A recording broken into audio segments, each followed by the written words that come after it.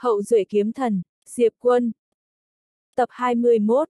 Diệp Quân nghệt mặt ra, nó đang nghiêm túc đấy à? Tiểu tháp nói, có thể nó không ngờ được là ngươi rất yếu. Diệp Quân. ầm ầm. Cùng lúc này, thời không phía xa đột nhiên nứt lìa, một luồng khí tức cường đại đột nhiên lao thẳng về phía Diệp Quân. Người ra tay chính là An Vương. An Vương nhìn Diệp Quân chằm chằm, sau khi nhìn thấy thực lực của ba người An Nam Tịnh, bà ta biết những thần đế này sẽ không ngăn cản được ba người họ. Mẹ kiếp, đánh nhau giỏi quá mà. Do đó nếu bà ta muốn giết Diệp Quân thì buộc phải tranh thủ, cơ hội đến trong phút chốc này. Nhìn thấy An Vương xông tới, sắc mặt Diệp Quân lập tức biến đổi, thực lực của An Vương này mạnh hơn đám thần đế kia một chút. Còn bên phía mình, Diệp Quân đột nhiên quay đầu nhìn về phía Tiểu Bạch, lúc Tiểu Bạch thấy An Vương xông tới thì ngơ ngác, sau đó trốn ra phía sau người Diệp Quân, dùng hai tay che mắt. Diệp Quân suýt thì sụp đổ. Tên nhóc này thật sự tới để bảo vệ mình sao? Ai bảo vệ cho ai đây? Tiểu tháp cũng suýt ngất, Tiểu Bạch, người đánh bà ta đi. Người đánh lại bà ta đó. Nghe thấy Tiểu tháp nói vậy, Tiểu Bạch sững sờ, sau đó nó ấn cái nút trên quả trứng lớn trước mặt rồi lại đứng nguyên tại chỗ che mắt. Mẹ kiếp! Nhìn thấy cảnh tượng này, sắc mặt của tất cả mọi người lập tức biến đổi kịch liệt, đồng loạt lùi ra sau. Sắc mặt của Diệp Quân cũng biến đổi, mẹ kiếp, tên nhóc này thật sự là người của phe đối diện cử tới phải không? Lúc này, tiểu tháp đột nhiên hóa thành một tia kim quang xuất hiện trước mặt Diệp Quân, nó phẫn nộ hô lên, tất cả mọi người mau chạy đi. Nói xong, nó đưa Diệp Quân và Tiểu Bạch lùi ra sau. Lúc mọi người xung quanh nhìn thấy Tiểu Bạch châm ngòi cho thứ đó thì cũng bắt đầu lùi nhanh ra sau. Mặc dù bọn họ không biết đó là thứ gì, nhưng bọn họ biết thứ đó vô cùng nguy hiểm. Lúc này, An Vương vừa hay lao tới, nhìn thấy quả trứng lớn đang rung lên kịch liệt, An Vương khẽ nhíu mày lại, sau đó giơ tay tung ra một cú đấm. ầm ầm. Đột nhiên, một tiếng nổ lớn vang lên khắp khoảng vũ trụ tinh không, ngay sau đó, một đám mây hình nấm khổng lồ rộng cả trăm nghìn trượng lao thẳng lên trời, sức mạnh cường đại khiến cho thời không trong phạm vi cả trăm nghìn trượng chấn động sụp đổ. Đám mây hình nấm đó tiến thẳng tới nơi sâu bên trong tinh không, cả vũ trụ tinh không đều trở nên sục sôi trong chính khoảnh khắc này. An Vương cũng bị chấn động tới mức bay ra xa cả trăm nghìn trượng, khi bà ta dừng lại cũng ngơ ngác, lúc này, thân xác của bà ta đang dần dạn nứt. Thứ gì vậy? Phía xa, đám cường giả của thư viện quan huyên và cường giả của tiên bảo các cũng hoàn toàn sững sờ. Uy lực mạnh tới vậy sao? Diệp quân nhìn thôi cũng cảm thấy ra đầu tê dại, nếu không phải tháp ra kéo hắn lùi ra sau thì e rằng hắn đã chuyển kiếp đầu thai luôn rồi. Thứ đồ chơi gì vậy chứ? Diệp quân nhìn tiểu bạch bên cạnh, tiểu bạch chớp mắt, sau đó móng vuốt nhỏ lại khua khua, dáng vẻ trông rất phấn khích. Diệp quân hoài nghi, còn trong ánh mắt của mọi người, hai móng vuốt nhỏ của tiểu bạch khua một hồi lại xuất hiện thêm hai quả trứng giống như quả dưa hấu. Nhìn thấy cảnh tượng này, mọi người lại tiếp tục lùi nhanh ra sau. Diệp quân cũng liên tiếp lùi ra sau, cách xa tiểu bạch. Mẹ nó! Sắp bị thứ này lấy mạng luôn rồi. Nhìn thấy mọi người lùi ra sau, tiểu bạch sửng sốt, cuối cùng nó nhìn về phía Diệp quân, sau đó nở nụ cười ngây thơ vô hại, vô cùng đáng yêu. Diệp quân trầm mặc, tên này không được bình thường. Cùng lúc này, phía xa đột nhiên truyền tới một tiếng vang lớn, ngay sau đó, một khoảng thời không bị hủy diệt. Mọi người vội vàng nhìn qua, cách đó không xa, nhị nha đang tung một cú đấm khiến một thần đế nát bươm. Chưa tới vài phút ngắn ngủi đã có rất nhiều thần đế rơi xuống. Là rơi xuống thật sự chứ không chỉ có phân thân rơi xuống.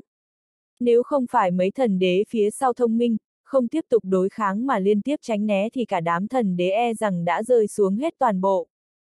Ở trước mặt ba người này, thần đế rõ ràng chỉ như một lũ vô dụng. An Vương vốn đang định ra tay nhìn thấy cảnh tượng này thì đột nhiên cau mày lại, bà ta không ngờ ở trước mặt ba người này, những thần đế kia lại dễ dàng bị đánh hạ tới thế. Nếu cứ tiếp tục thì tất cả thần đế đều sẽ bị giết sạch. Thế nhưng bà ta lại không muốn từ bỏ, bởi vì trực giác mách bảo bà ta nếu như hôm nay không giết được Diệp Quân thì tương lai người này nhất định sẽ mang tới rắc rối rất lớn cho chân thế giới. Nghĩ tới đây, An Vương lại nhìn về phía Diệp Quân, giấy lên ý định giết người, tại sao đám thần hoàng hôn vẫn chưa tới. chỉ có đội quân đó mới có thể đối kháng được với ba người võ thần. Lúc này, một ông lão mặc áo đen đột nhiên xuất hiện trước mặt bà ta, ông lão mặc áo đen trầm giọng nói, An Vương, phải rút lui thôi. Nghe vậy, An Vương nổi giận đùng đùng, ý gì? Ông lão mặc áo đen trầm giọng nói, kéo dài quá lâu rồi. Người của thế giới hư chân chúng ta sắp không chống đỡ nổi nữa, còn không đi mau thì những đại kiếm đế của thế giới hư chân sẽ giết trở về. Tới lúc đó, tất cả thần linh ở vũ trụ này của chúng ta đều phải chết. An Vương siết chặt hai bàn tay, trầm mặc không nói. Ông lão mặc áo đen tiếp tục nói, chúng ta thất bại trong hành động chém đầu lần này rồi. An Vương vẫn không lên tiếng, bà ta chăm chăm nhìn Diệp Quân phía xa, người bên trên đã biết tới sự tồn tại của người này chưa? Ông lão mặc áo đen gật đầu, biết rồi. An Vương híp hai mắt lại, vậy bọn họ không dồn hết toàn lực để giết hắn sao? Ông lão mặc áo đen muốn nói gì đó nhưng lại thôi. Mặt An Vương không chút biểu cảm, nói.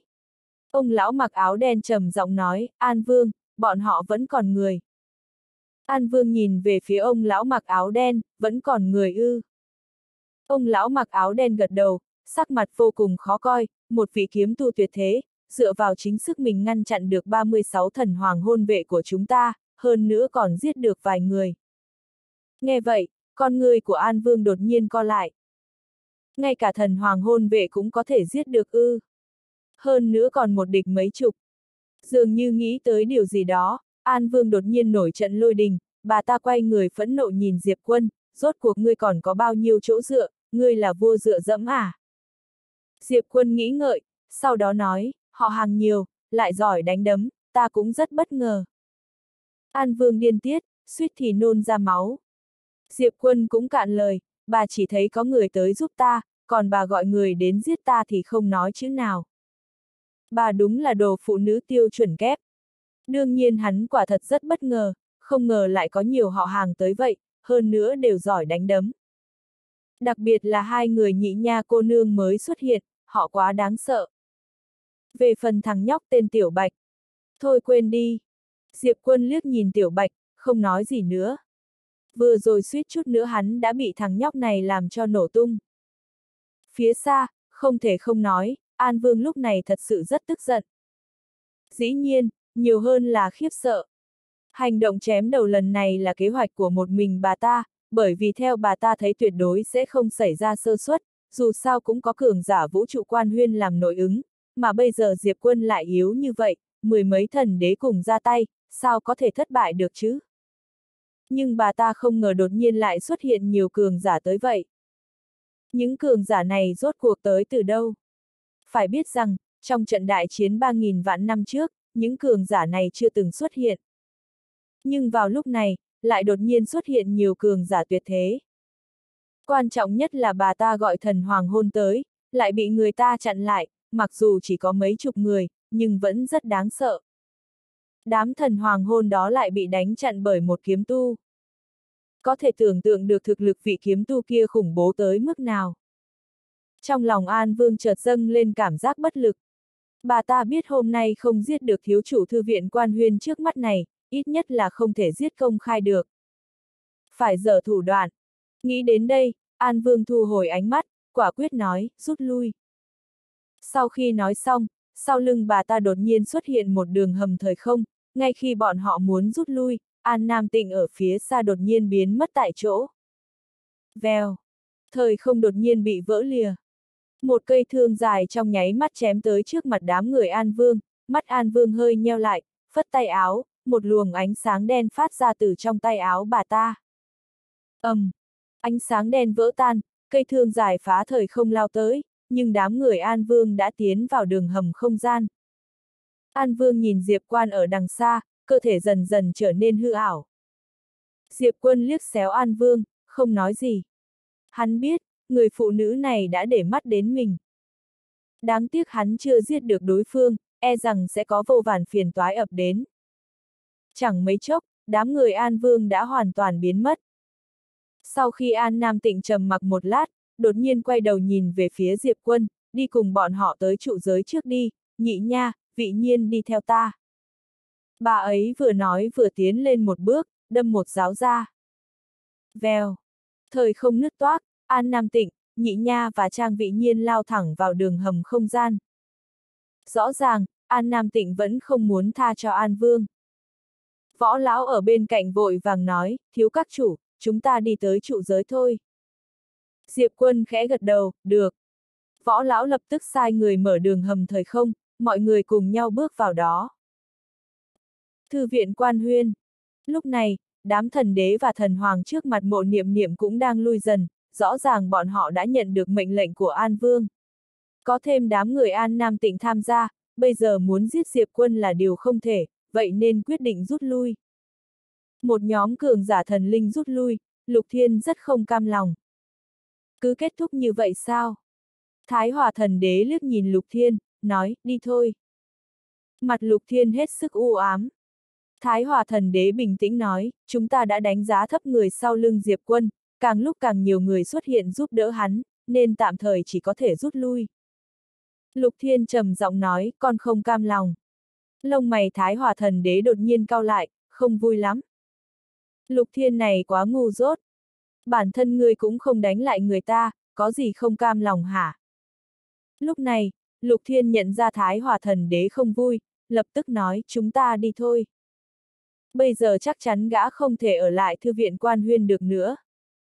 Đường sống duy nhất là đi đến chân thế giới. Thái Hòa thần đế khẽ gật đầu, không nói một lời xoay người rời đi, nhưng lúc này, một luồng khí tức đáng sợ đột nhiên lóe lên rồi bay thẳng về phía Lục Thiên. Người ra tay chính là Đại Võ Tông. Thái Hòa thần đế khẽ cao mày, xoay người áp tay phải xuống. ầm, um, Đại Võ Tông bị sức mạnh kinh khủng áp chế tại chỗ. Đại Võ Tông nhìn chằm chằm Lục Thiên, không lên tiếng.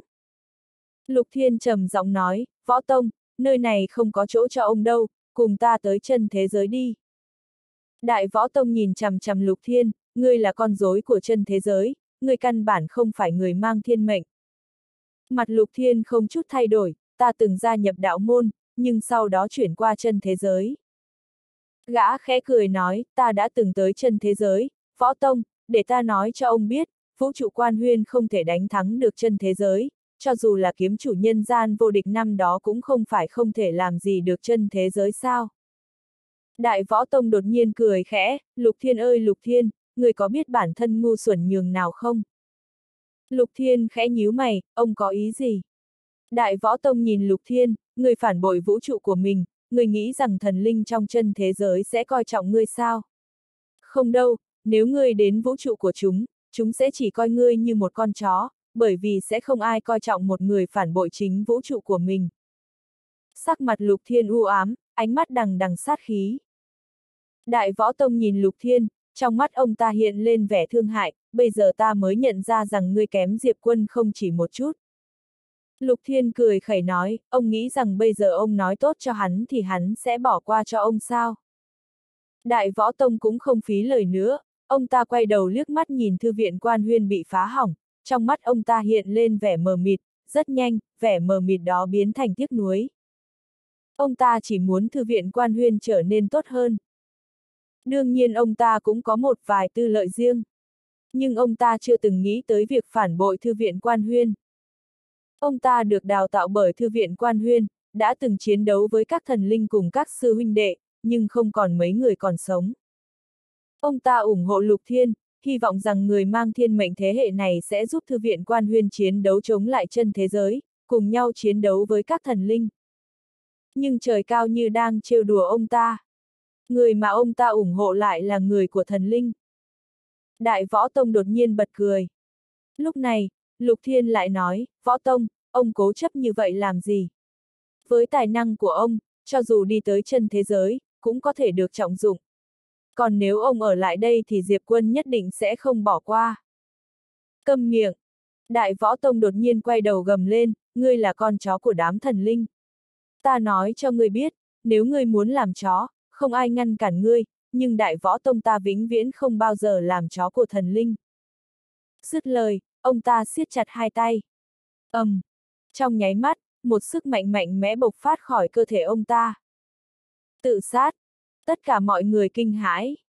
Hiển nhiên, không ai ngờ Đại Võ Tông sẽ chọn tự sát. Lục Thiên cũng bất ngờ, sắc mặt thay đổi, vội vàng lùi lại. Đại Võ Tông vừa tự sát, một sức mạnh lớn bộc phát khắp nơi, ngay cả sức mạnh của Thái Hòa Thần Đế cũng lập tức bị phá vỡ, ngay khi sức mạnh cường đại đó sắp nhấn chìm Lục Thiên, Thái Hòa Thần Đế đột nhiên đánh ra một quyền. âm um. Một quyền này tung ra, sức mạnh khủng bố kia hóa thành cho bụi. Audio điện tử võ tấn bền. Thế gian này không còn đại võ tông nữa. Lục Thiên ở phía xa, sắc mặt cực kỳ khó coi, gã không ngờ đại võ tông sẽ chọn tự sát. Lục Thiên lạnh lùng nói, có cơ hội sống mà lại lựa chọn chết, ngu xuẩn. Thái Hòa Thần Đế liếc mắt nhìn Lục Thiên, đi thôi. Giữ lại tên Lục Thiên này vẫn còn có ích. Lục Thiên gật đầu, gã nhìn thoáng qua thư viện quan huyên ở phía xa, trong mắt lóe lên vẻ lạnh lùng, Diệp quân, sau này ta sẽ đích thân tới lấy đầu ngươi. Dứt lời, gã xoay người rời đi. Nhưng lúc này, mộ niệm niệm đột nhiên nói, chờ đã.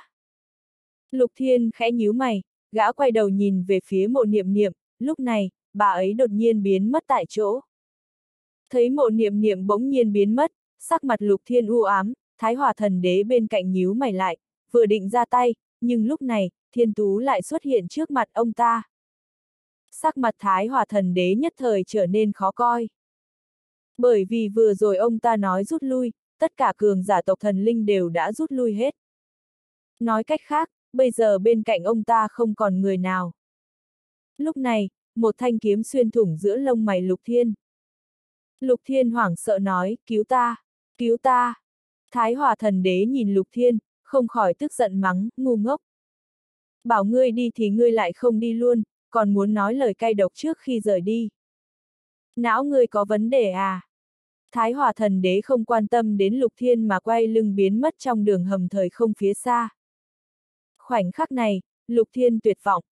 Mộ niệm niệm nhìn Lục Thiên trước mặt, khi gã định lên tiếng, mộ niệm niệm đã giơ tay lên chém một nhát kiếm. Vèo. Cái đầu be bét máu của Lục Thiên bay ra xa hàng trăm mét.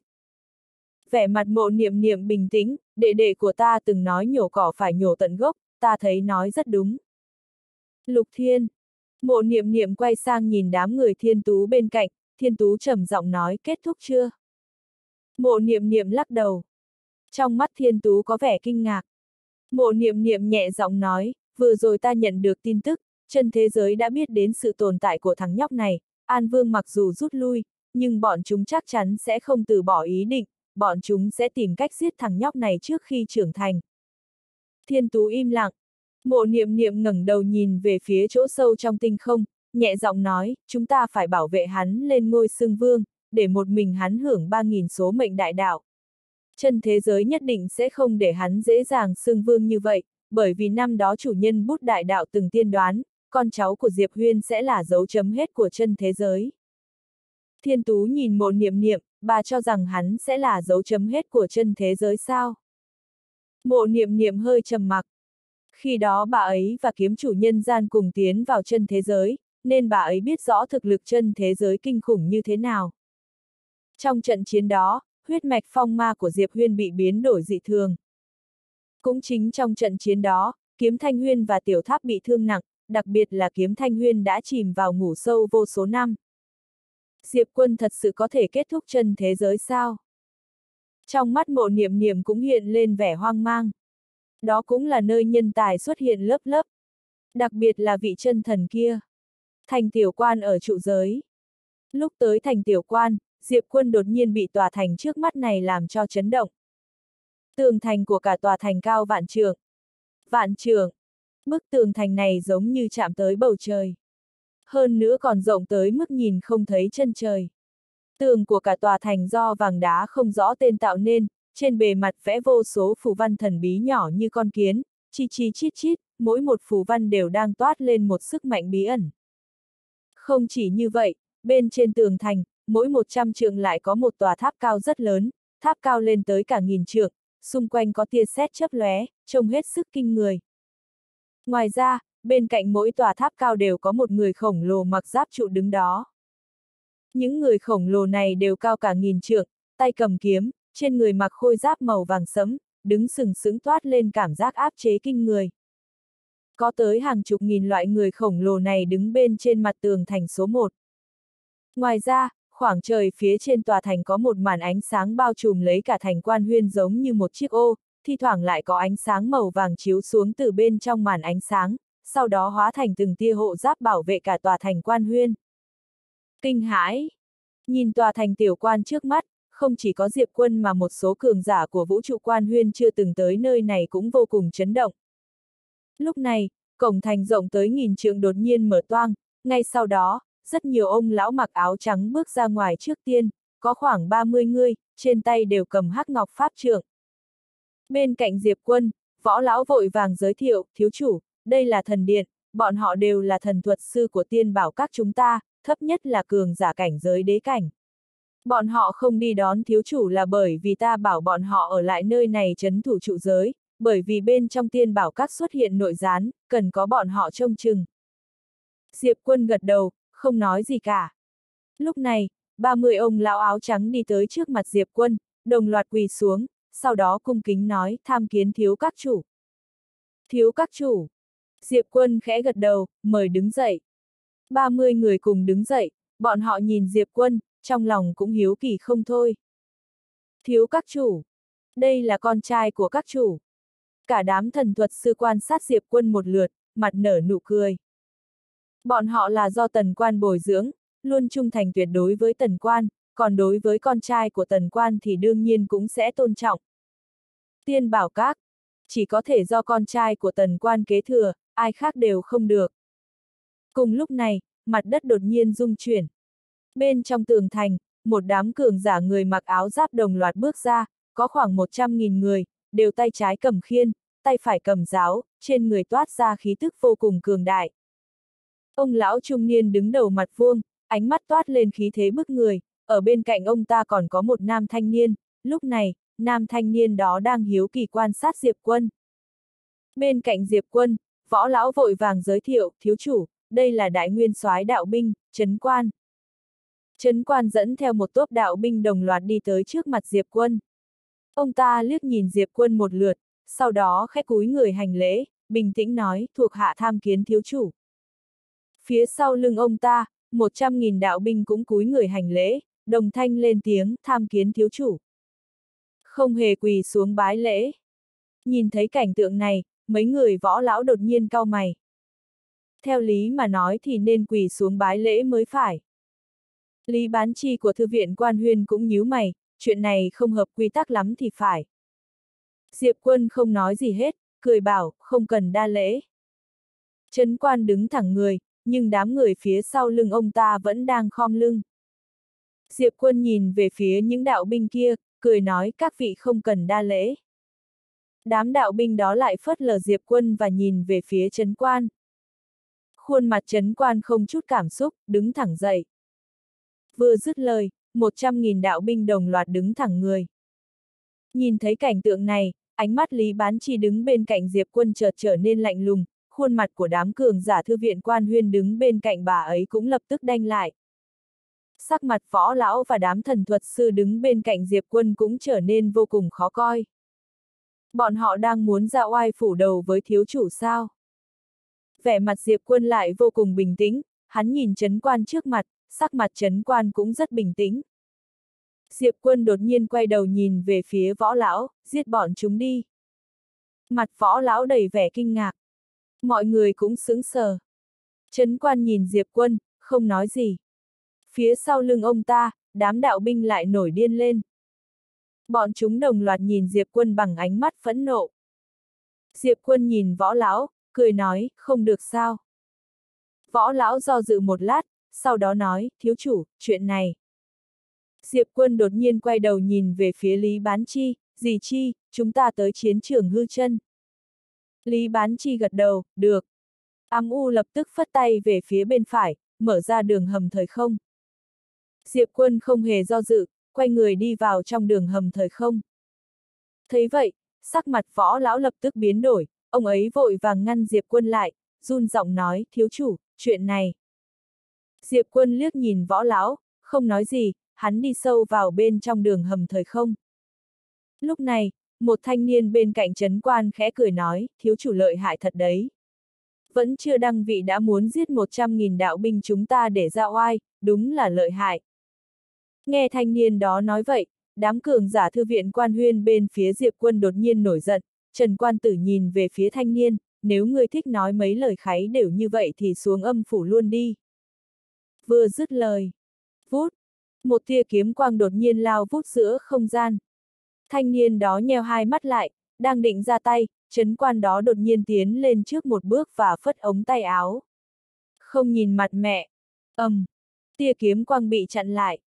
Lúc này, đám người phía sau lưng Diệp Quân cũng dùng thần thức khóa chặt lấy mấy người chấn quan. Đám đạo binh phía sau lưng chấn quan đột nhiên đồng loạt tiến lên một bước, một khí tức cường đại bao trùm lấy đám cường giả bên phía thư viện quan huyên. Nhìn thấy cảnh tượng này, sắc mặt của mấy người võ lão đột nhiên biến đổi, Diệp quân bên cạnh lại đột nhiên lên tiếng, đại sư huynh, chúng ta đi thôi. Đi. Trần quan tử trầm mặc. Y đương nhiên đang rất tức giận. Tiên bảo các là của ai? Của tần quan. Mà bây giờ, tần các chủ không có mặt, những người này lại tới để ra oai phủ đầu với Diệp quân. Bọn chúng đang ức hiếp Diệp quân vì cha mẹ đều không ở đây sao?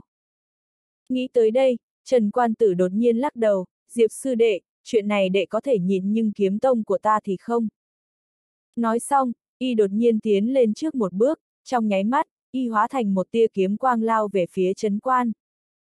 Trấn Quan híp hai mắt lại, ông ta tiến lên trước một bước, cổ tay xoay chuyển, một thanh giáo dài lập tức lao tới, tốc độ rất nhanh. ầm ầm, cùng với tiếng nổ đinh tai nhức óc vang lên, một màn kiếm quang và thương mang cũng bộc phát mạnh mẽ, Trấn Quan và Trần Quan Tử đồng thời liên tiếp lùi ra sau. Thời không xung quanh nứt vỡ.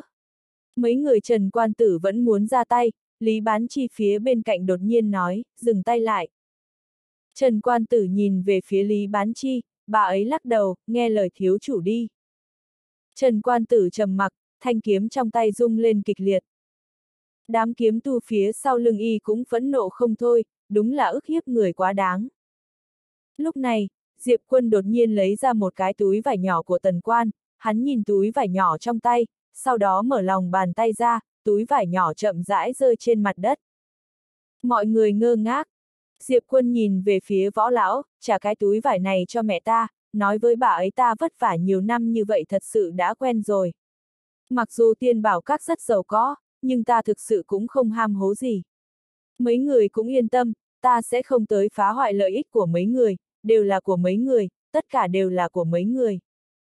Nói xong, hắn quay người bước vào trong đường hầm thời không. Lý Bán Chi liếc nhìn mấy người võ lão một lượt rồi cũng đi theo. Đám cường giả của thư viện quan huyên cũng vội vàng đi theo. Từ bỏ tiên bảo các. Võ lão đứng nguyên tại chỗ nhìn túi vải nhỏ phía trước, sắc mặt trắng bệch như giấy. Sắc mặt của Trấn quan lại trở nên u ám, cậu thanh niên đứng bên cạnh ông ta lại cười khẩy không thôi, thấp giọng nói, đi thì đi đi, tiên bảo các 30 triệu năm nay không có các chủ không phải vẫn tốt sao. Đúng lúc này, bên cạnh đường hầm thời không, thời không nơi đó đột nhiên nứt lìa. Một người phụ nữ mặc đồ xanh chậm rãi bước ra, phía sau lưng người phụ nữ mặc đồ xanh còn có mấy trăm cường giả siêu cấp. Ưng Thanh. Sau khi ưng Thanh xuất hiện, bà ấy lập tức đi tới gần Diệp Quân, sau đó chậm rãi quỳ một chân xuống, thuộc hạ. Diệp Quân không hề dừng bước, đi thẳng vào bên trong đường hầm thời không. Nhìn thấy cảnh tượng này, sắc mặt ưng thanh lập tức trắng bệch. Đám cường giả của thư viện quan huyên cũng đồng loạt đi vào trong đường hầm thời gian đã mở sẵn, đường hầm thời gian khẽ rúng động, Diệp Quân tiến vào sâu bên trong. Nhưng đúng vào lúc này, cách đó không xa, cái túi vải nhỏ kia đột nhiên rung lên, một giây sau, trong ánh mắt của tất cả mọi người, một tia sáng màu trắng từ từ bay lên từ bên trong túi vải. Tia sáng đó ngưng tụ thành một người phụ nữ giữa không trung. Người phụ nữ mặc áo tay ngắn, bên dưới là chiếc váy vải, chân mang một đôi giày vải nhỏ, trông rất giản dị. Nhìn thấy người phụ nữ, sắc mặt của ưng thanh và đám người tiên bảo các đang có mặt lập tức biến đổi, đồng loạt quỳ xuống tham kiến các chủ. Các chủ, tần quan, chấn quan và đám đạo binh phía sau lưng ông ta cũng vội vàng quỳ xuống, cả người run lẩy bẩy. Tần các chủ xuất hiện rồi. Bên phía thư viện quan huyên, mọi người cũng vô cùng bất ngờ. Bọn họ đều không ngờ tần quan lại xuất hiện. Đám người của thư viện quan huyên do dự một lát, sau đó cũng đồng loạt hành lễ tham kiến chủ mẫu. Mặc dù bọn họ không ưa gì tiên bảo các, nhưng tần quan thì vẫn phải tôn trọng. Tần quan nhìn Diệp quân phía xa, lúc này Diệp quân đã dừng bước, có điều hắn không quay người lại. Tần quan nhìn Diệp quân, khẽ nói, con không quay người lại nhìn mẹ một chút sao. Diệp quân trầm mặc một lát, sau đó khẽ nói, mặc dù con rất nghèo, nhưng con thật sự chưa từng nghĩ tới chuyện muốn kế thừa cái gì, cho dù là tiên bảo các hay thư viện quan huyên, con thật sự chưa một lần nào bận tâm tới. Thật ra con càng hy vọng được cha mẹ ở bên cạnh từ nhỏ hơn. Nói xong, hắn bước nhanh rồi biến mất ở phía xa.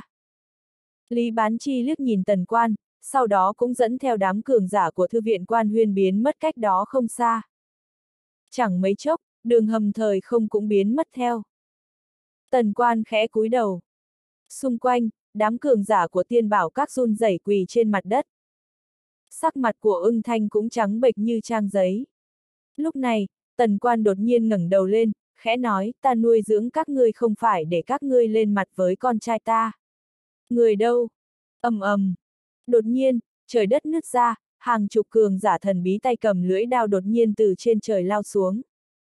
Cùng lúc này, bên trên tường thành, tất cả thần tướng quan huyên đồng loạt mở to hai mắt, trong nháy mắt, hàng chục nghìn thần tướng quan huyên cũng nhảy xuống từ trên tường thành. Sắc mặt của tất cả mọi người đang có mặt đều biến đổi. Tần quan nhìn về phía ưng thanh, từ nơi đâu tới thì về lại đó, ngay lập tức. Ưng thanh ngồi thụp xuống đất. Tần quan lại nói, kể từ giây phút này, võ các lập tức giải tán, tất cả mọi người trong võ các cả đời này vĩnh viễn không thu nhận lại. Nghe vậy, sắc mặt của võ lão tái nhợt, đang định nói gì đó thì một cường giả áo đen đã xuất hiện trước mặt ông ấy, không có bất cứ lời nói dư thừa nào, thẳng thừng lôi ông ấy đi. Tất cả người trong võ các cũng đồng loạt bị dẫn đi. Ưng thanh nhìn tần quan, đang định nói gì đó thì một lưỡi đao đã kề sát trên yết hầu của bà ấy, sau đó bà ấy cũng bị cưỡng chế lôi xuống.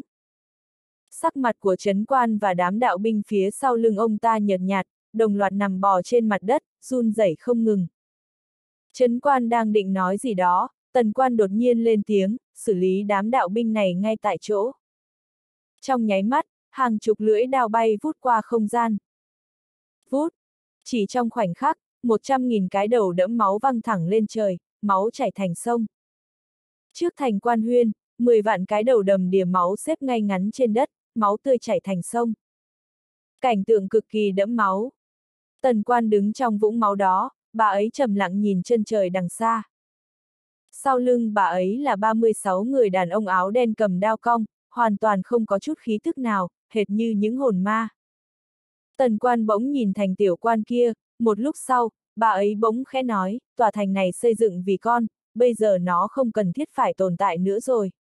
Cho nổ đi. Nói rồi, bà ấy quay người rời đi. Sau khi tần quan đi, cả toàn thành tiểu quan hóa thành cát bụi, một cột khói hình nấm bốc lên cao đến 10 vạn trượng. Trong đường hầm thời không, Diệp quân trầm ngâm không lên tiếng. Mọi người cũng không nói gì. Tần các chủ đã xuất hiện rồi. Mà mọi người không ngờ hai mẹ con họ gặp nhau lại có kết thúc như thế này. Tiên bảo các, ai nấy đều thầm thở dài. Diệp quân vốn dĩ đã không có ấn tượng tốt với tiên bảo các rồi, vừa tới thành tiểu quan thì các ngươi đã lập tức ra oai phủ đầu. Ai không điên tiết cho được. Phải biết rằng, hắn vốn đã bị nuôi dưỡng bên ngoài. Bây giờ trưởng thành trở về nhà, thuộc hạ của cha mẹ lại tỏ thái độ, như thể hắn trở về để giành tài sản ấy. Nực cười. Lý Bán Chi nhìn Diệp Quân, khẽ cười, có thể mẹ con không lường trước được những chuyện xảy ra sau này, lòng người khó lường mà. Hơn nữa, đã lâu lắm rồi bà ấy không xuất hiện, thế nên rất nhiều người không còn kính sợ bà ấy nữa, nên cũng không kính sợ con. Bà ấy dừng lại một lát rồi nói tiếp, đây không phải là lỗi của bà ấy, đương nhiên cũng không phải là lỗi của con, chỉ là những người hiếu chung với nhà con đã xảy ra vấn đề thôi. Diệp quân trầm mặc, Lý Bán Chi khẽ thở dài. Thật ra không chỉ riêng tiên bảo các, thư viện quan huyên cũng vậy. Dù sao, kiếm chủ nhân gian và tần quan đã quá lâu không xuất hiện, nhưng bọn họ lại không hề biết, vũ trụ quan huyên còn tồn tại là nhờ có kiếm chủ nhân gian và tần các chủ. Nếu đổi lại người khác làm vua của vũ trụ quan huyên, kiếm chủ nhân gian và tần các chủ có còn bảo vệ vũ trụ quan huyên không? Không bàn đến những người khác, đám người ủng hộ Diệp Quân như Thiên Tú chắc chắn sẽ không tới chi viện cho vũ trụ quan huyên. Đám người kỳ tỷ thiên và thiên tú tới chi viện không phải vì vũ trụ quan huyên mà là vì thiếu chủ của vũ trụ quan huyên là Diệp Quân, mà Diệp Quân lại là người nhà họ Dương. Cả lý bán chi bà ấy cũng vậy. Đổi một người khác làm vua thì bà ấy cũng sẽ không dốc hết sức giúp đỡ thế này. Con người đều có lòng ích kỷ. Lý bán chi lại lần nữa lắc đầu thở dài. Bà ấy biết, với tính khí của tần quan, e rằng lần này sẽ có rất nhiều người gặp họa. Cả ưng thanh cũng không ngoại lệ. Người phụ nữ này rất thông minh, có năng lực nhưng thiếu quyết đoán, nếu ngay lập tức giết đám đạo binh kia thì có khi còn cứu vãn được. Cả võ lão nữa. Võ thần vệ của võ các có thể đàn áp được đạo binh. Nhưng bọn họ đều nghĩ không cần phải làm vậy, thấy chuyện này không nghiêm trọng đến mức đó. Chỉ có thể nói một từ, ngu. Đúng lúc này, Diệp Quân bỗng hỏi, cha con ở thế giới hư chân ạ. À? Lý bán chi thu hồi mạch suy nghĩ, lắc đầu cười, ta không biết. Diệp quân nhìn Lý bán chi, bà ấy khẽ nói, con hỏi tháp ra thử, có lẽ nó biết đấy. Diệp quân thầm hỏi, tháp ra. Tiểu tháp, ta cũng không biết. Diệp quân nhíu mày. Tiểu tháp vội nói, không biết thật, sau này ông ấy không tới tìm ta nữa, ta thấy mình mờ nhạt hẳn. Diệp quân cạn lời. Tiểu tháp tiếp tục nói, thôi kệ đi, nhiệm vụ cấp bách bây giờ của ngươi là tới chiến trường hư chân, tới kế thừa di sản của cha ngươi. Diệp quân nhíu mày, di sản. Tiểu tháp cuống lên, gia sản, là gia sản. Diệp quân lắc đầu cười. Tháp ra nói chuyện đôi khi sẽ dọa chết người khác đấy. Diệp quân không hỏi thêm gì. Hắn xòe tay ra, kiếm hành đạo xuất hiện trong tay hắn, bây giờ hắn chỉ muốn làm một chuyện, đó chính là tới chiến trường hư chân, sau đó cứu sống nạp lan ca. Tiểu ca. Diệp quân chậm rãi nhắm mắt lại. Tiểu tháp bỗng nói, ngươi thật sự không gặp mẹ ngươi sao? Ta, ta từng đi theo ông nội ngươi, sau đó lại theo cha ngươi, cũng được xem là trưởng bối của ngươi, ta nói thêm vài câu nhé. Ta cảm thấy đây không phải là lỗi của mẹ ngươi, bà ấy là một người rất tốt, thật đấy. Diệp quân im lặng một lát rồi nói, bây giờ ta chỉ muốn cứu sống tiểu ca, không muốn nghĩ tới những chuyện khác. Tiểu tháp thở dài. Thật ra nó cũng tức giận lắm. Đám rốt nát tiền bảo các này. Đúng là chán sống rồi. Các ngươi dám ra uy phủ đầu thằng nhóc khốn nạn này à? Tự đâm đầu vào chỗ chết. Có lẽ đám người tiên bảo các cũng không ngờ được, bọn họ vừa ra oai phủ đầu thì thằng nhóc này đã lập tức quay người bỏ đi. Được, ta không chơi với các ngươi. Đúng là tự đâm đầu vào chỗ chết mà. ầm, um, ngay lúc này, Trước mặt tất cả mọi người, đường hầm thời không bỗng nứt ra, một người đàn ông trung niên chậm rãi xuất hiện, sau lưng ông ta là mấy chục người mặc áo đen. Lý Bán Chi đứng bên Diệp Quân bỗng nói, tộc trưởng thần tộc Thái Sơ. Diệp Quân bỗng nói, không đúng. Lý Bán Chi nheo mắt lại, nhìn người đàn ông trung niên đó quát lên, đứng lại. Đứng lại. Người đàn ông trung niên hơi ngẩn người, sau đó nói, Lý Viện Phó. Bà làm gì vậy? Diệp quân bỗng nói, ấy thế mà các ông lại đầu quân cho thần linh. Vẻ khó hiểu trên mặt người đàn ông trung niên trở thành sự ngạc nhiên, chỉ trong tích tắc nhưng Diệp quân và Lý Bán Chi đã nhìn thấy. Lúc Diệp quân vừa dứt lời, đám người Trần Quan Tử đã vây lại. Người đàn ông trung niên nhìn chằm chằm Diệp quân, sao người phát hiện ra được? Diệp quân bình tĩnh đáp, ta đoán. Người đàn ông trung niên sững sờ. Diệp quân nhìn ông ta rồi nói, đoán sai cũng đâu có sao, nhưng nhỡ đoán chúng thì sao? Thế nên ta rất thích đoán. Mọi người. Vẻ mặt người đàn ông trung niên phức tạp, người thật giống cha ngươi. Lý Bán Chi trầm giọng nói, tại sao thần tộc Thái Sơ lại phản bội thư viện quan huyên? Người đàn ông trung niên khẽ cười, vì không nhìn thấy hy vọng. Bao nhiêu năm qua, thần tộc Thái Sơ của ta đã tổn thất rất nhiều người, cứ tiếp tục đánh thế này, không có chút hy vọng nào cả. Thế nên, ta muốn đổi một con đường mới. Chỉ là không ngờ đúng vào lúc này, hậu nhân của kiếm chủ nhân gian lại xuất hiện, trùng hợp quá. Vẻ mặt lý bán chi phức tạp, ông làm như vậy có xứng đáng với các tiền bối của thần tộc Thái Sơ không? Người đàn ông trung niên khẽ cười, ta không quan tâm tới các tiên tổ, ta chỉ quan tâm tới con cháu thần tộc Thái Sơ thôi, ta không muốn chúng chết hết.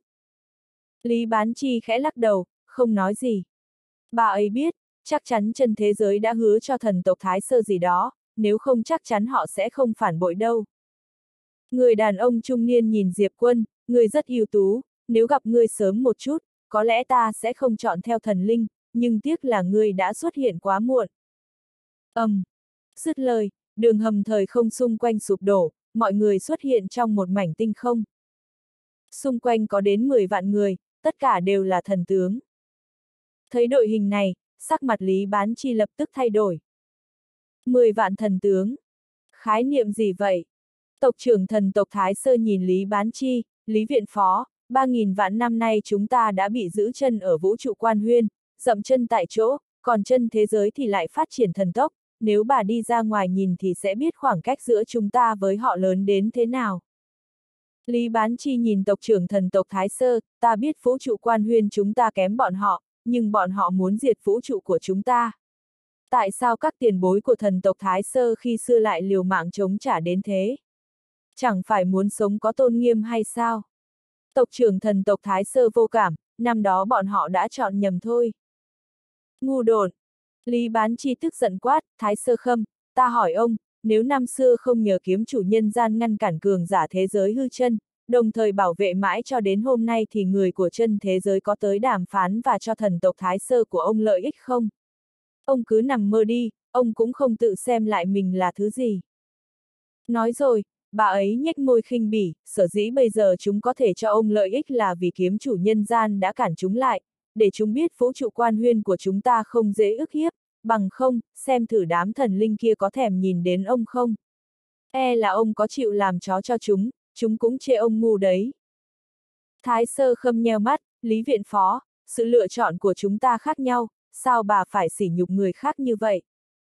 Lý Bán Chi lắc đầu, ta kính trọng những tiền bối trong thần tộc Thái Sơ ông, cũng cảm thấy đau lòng thay họ, lại có con cháu như ông. Thái Sơ khâm cười nhạt, Lý Viện trưởng, bà đang cố kéo dài thời gian à? Ta nói cho bà biết, muộn rồi.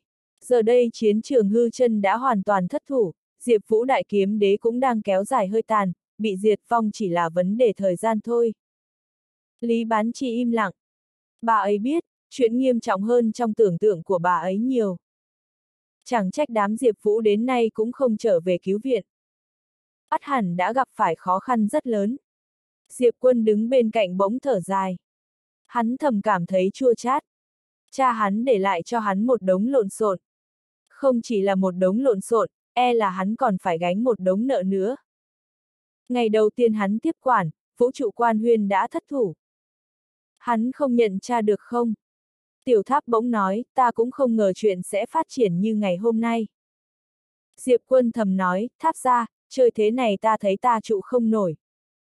Tiểu tháp khẽ than, năm xưa trận chiến giữa cha ngươi với thế giới hư chân vẫn chưa xong.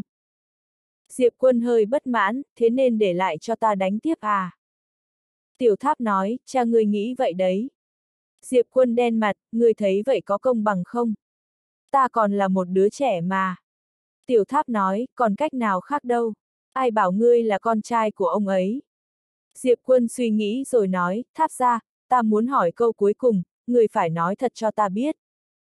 Tiểu tháp nói, ngươi hỏi đi. Diệp quân cầm kiếm hành đạo, hỏi tháp ra, ý nghĩa của người hộ đạo là gì? Tiểu tháp, người hộ đạo là để tránh người bị người khác ở duy độ cao hơn giết. Diệp quân khẽ gật đầu, cô cô váy trắng có thể chống lại được thần đế không? Tiểu tháp nói, có thể. Diệp quân hỏi, đánh được mấy người? Tiểu tháp suy nghĩ rồi đáp, có bao nhiêu đánh bấy nhiêu? Diệp quân trầm giọng nói, ta không tin. Tiểu tháp, thật đấy, lần này ta không lừa ngươi đâu. Diệp quân nói, ta vẫn không tin, trừ phi. Ngươi gọi cô cô ra đây thử. À, để ta gọi thử. Nói rồi, hắn lấy kiếm hành đạo ra, cô cô, người có ở đây không? Tộc thần linh mắng cô này. Tiểu tháp. Diệp quân dứt lời, nhưng kiếm hành đạo vẫn không có động tĩnh gì. Sau một thoáng im lặng, Diệp quân hỏi, tháp ra, phải gọi thế nào đây? Tiểu tháp suy nghĩ rồi đáp, thật ra tình hình bây giờ vẫn còn tạm, không cần phải gọi bà ấy. Diệp quân không hiểu, vì sao? Tiểu tháp trầm giọng nói, sẽ bị nghiện đó. Diệp quân nhíu mày, gọi người sẽ nghiện à? Tiểu tháp nói, đúng vậy, nghiện không dừng lại được luôn. Hơn nữa, bà ấy không mấy hứng thú với đám thần linh này, quan trọng nhất là năm xưa bố người chật vật như vậy nhưng vẫn không gọi bà ấy ra tay, thế nên người cố gắng chịu đựng đi, rồi cũng qua thôi. Diệp quân cạn lời. Hình như tháp ra rất sợ mình gọi cô cô váy trắng. Vì sao? Nếu cô cô váy trắng xuất hiện thì sẽ thế nào? Diệp quân hơi tò mò. Lúc này, Thái Sơ Khâm đứng đằng xa bỗng lên tiếng, giết hắn. Ông ta nhìn Diệp quân tròng trọc. Nghe lệnh của Thái Sơ Khâm, những thần tướng đứng xung quanh đều xông về phía Diệp quân, chớp mắt, mảng tinh hà này đã cuộn trào, sau đó dần dần vỡ nát. Thấy cảnh này, Diệp quân nheo mắt lại, ánh mắt tàn độc. Hắn đang định ra tay thì thời không ở phía xa bỗng nứt ra, một đạo kiếm quang xé không gian bay tới, sau đó một tốp cường giả đồng loạt xuất hiện. Chính là mấy người mộ niệm niệm. Mộ thiên đạo. Thấy mộ niệm niệm, sắc mặt của Thái Sơ Khâm ở đằng xa nghiêm nghị hẳn. Đương nhiên ông ta biết vị mộ thiên đạo này. Đây là nhân vật khủng bố năm xưa từng theo kiếm chủ nhân gian giết vào chân vũ trụ. Mộ niệm niệm xuất hiện, bà ấy nhìn Thái Sơ Khâm rồi trực tiếp hóa thành một tia kiếm quang, biến mất tại chỗ. Vù!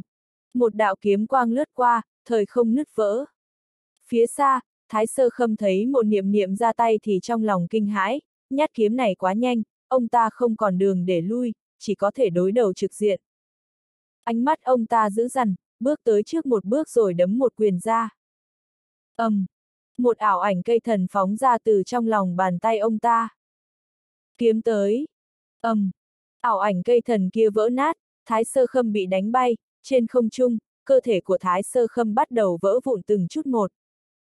Mộ niệm niệm đang định tiếp tục ra tay, nhưng lúc này những thần tướng kia đã xông về phía đám người Diệp quân. Mộ niệm niệm nhíu mày, quát, giết. Vừa dứt lời, bà ấy bỗng lao về phía trước, một đạo kiếm quang phá thời không bay tới, chớp mắt mấy chục thần tướng đã bị nhát kiếm này của bà ấy chém tan. Lúc này, Diệp quân cũng xông lên, giết. Hắn không muốn được bảo vệ mãi. Có ngao thiên thiên và kiếm hành đạo trên người, thần tướng sao? Hắn không sợ. Thấy Diệp quân xông lên, Trần Quan Tử đứng bên cạnh cũng quát lên, giết. Vù. Bỗng chốc, từng tiếng kiếm kêu vang lên, sau đó là các kiếm tu tiên phong ra trận. Mộ niệm niệm dẫn đầu, thiên tú và những cường giả U Minh Điện bảo vệ hai bên trái phải của mọi người.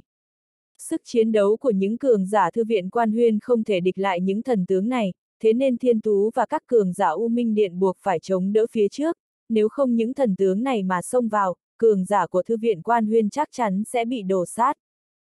Cứ như vậy, mọi người lao vào chém giết, vì có mộ niệm niệm dẫn đầu nên đám thần tướng kia không thể cản được nhóm Diệp quân. Bà ấy một mình giết đám thần tướng kia tạo thành một con đường. Đúng lúc này, một thần tướng bỗng xông tới bên cạnh mộ niệm niệm, bà ấy nhíu mày, đang định quay người ra tay thì đã có một đạo kiếm quang xuyên qua giữa chán thần tướng kia. Vù! Một tia máu phun ra từ chán thần tướng kia. Mộ niệm niệm quay đầu nhìn, thấy Diệp quân cầm kiếm hành đạo đứng đó. Mộ niệm niệm nhìn thanh kiếm trong tay Diệp quân rồi cười nói, theo ta mở con đường máu cho mọi người, dám không? Diệp quân nhếch môi, dám. Mộ niệm niệm khẽ cười, đến thế giới hư chân, mời con ăn cá. Nói xong bà ấy bỗng biến mất. Vù. Một kia kiếm quang xé gió phóng tới, lại có thêm mấy chục thần tướng nữa bị giết. Diệp quân hít sâu vào một hơi rồi cũng xông lên. Giây phút này, Diệp quân đẩy tốc độ của mình lên nhanh nhất, kiếm hành đạo làm chủ, 12 thanh phi kiếm phụ trợ, nhờ có khôi phục đan và ngao thiên thiên nên bây giờ hắn không cần phải lo vấn đề hao hụt huyền khí nữa. Cứ như vậy, Diệp quân theo sát mộ niệm niệm, cùng bà ấy mở ra một con đường máu, sau đó dẫn mọi người tới chiến trường hư chân. Sau lưng hai người họ là các kiếm tu. Những kiếm tu sống sót, giây phút này đã dần dần lột xác.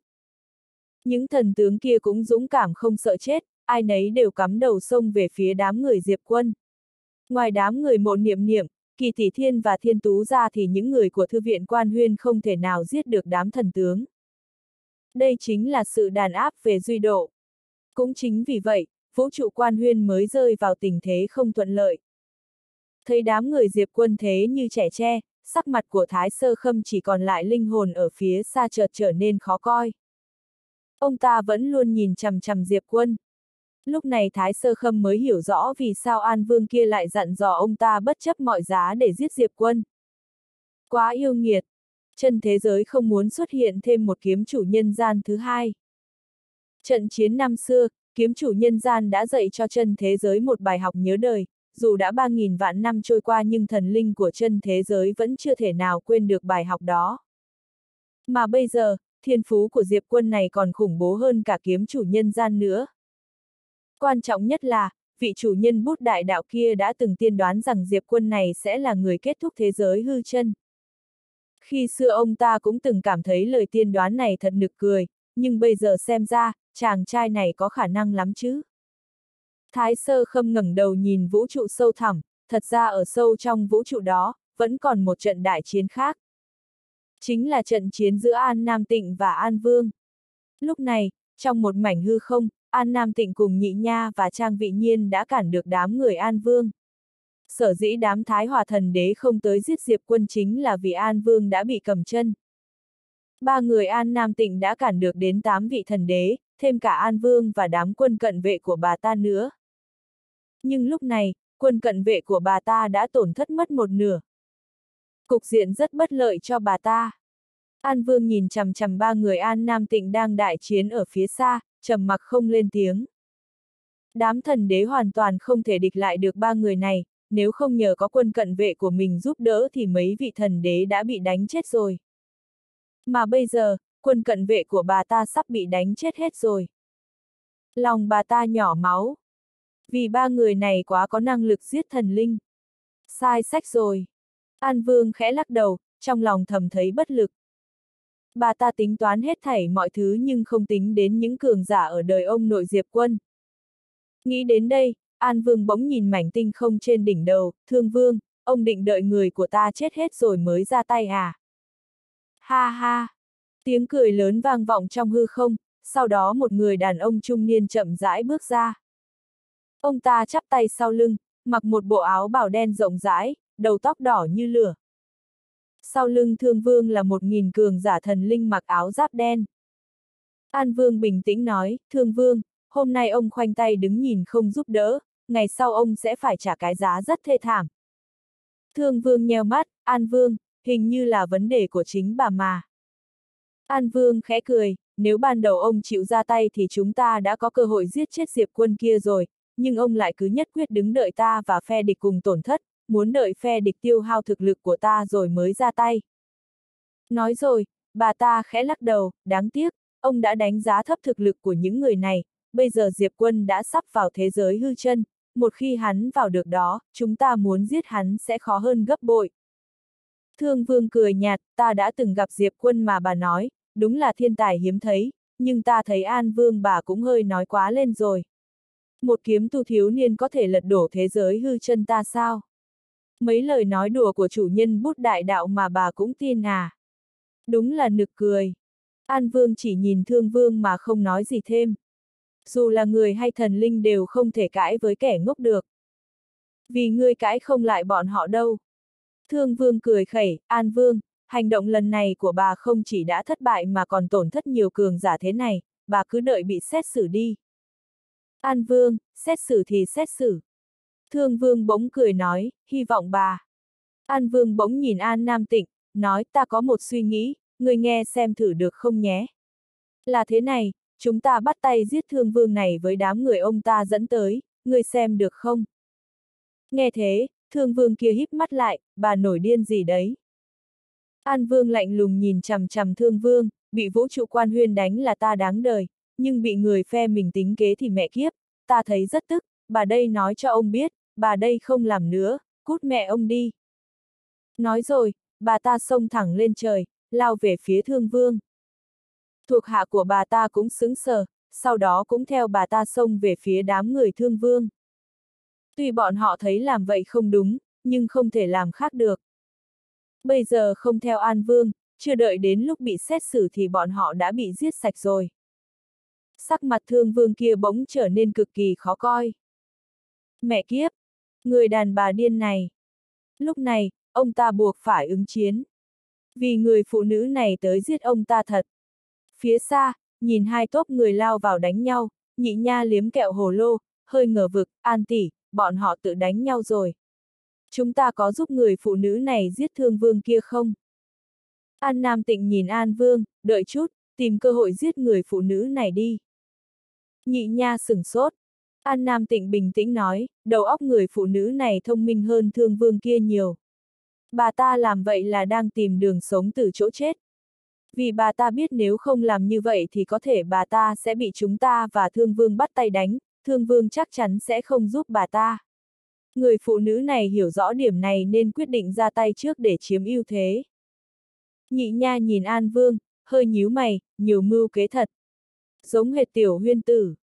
An Nam Tịnh nhìn An Vương, không diệt trừ người này thì sẽ là một đại họa, chút nữa ba người chúng ta tìm cơ hội giết bà ta. Nhị nha bỗng hỏi, sao bây giờ không ra tay luôn? An Nam Tịnh khẽ vuốt cái đầu nhỏ của nhị nha, bây giờ mà ra tay thì bọn họ sẽ bắt tay đối phó với chúng ta. Đây cũng là một trong những mục đích của bà ta. Nhị nha khẽ gật đầu, không biết tiểu bạch dùng quả bom kia chưa? An Nam Tịnh nhíu mày, muội cho nó thứ đó rồi à? Nhị nha gật đầu, vâng, cho nó mấy chục quả ấy. Muội đã dặn nó rồi, một lần đừng cho nổ nhiều, châm lửa xong thì chạy đi, không biết nó nhớ không nữa. Sắc mặt An Nam Tịnh bỗng trầm xuống. Trang vị nhiên cũng nhíu mày. Thế tiểu quân còn sống không? Chúng ta bán mạng chống đỡ ở bên này, tiểu bạch lại phá nhà bên kia thì vui à? Trong hư không, bây giờ Diệp quân đã giết đến đỏ mắt. Đúng lúc này, tiểu bạch bỗng xuất hiện trên vai hắn, nó nhìn Diệp quân nhếch miệng cười rồi giơ móng vuốt lên múa may gì đó. Diệp quân ngờ vực, tháp ra, nó nói gì vậy?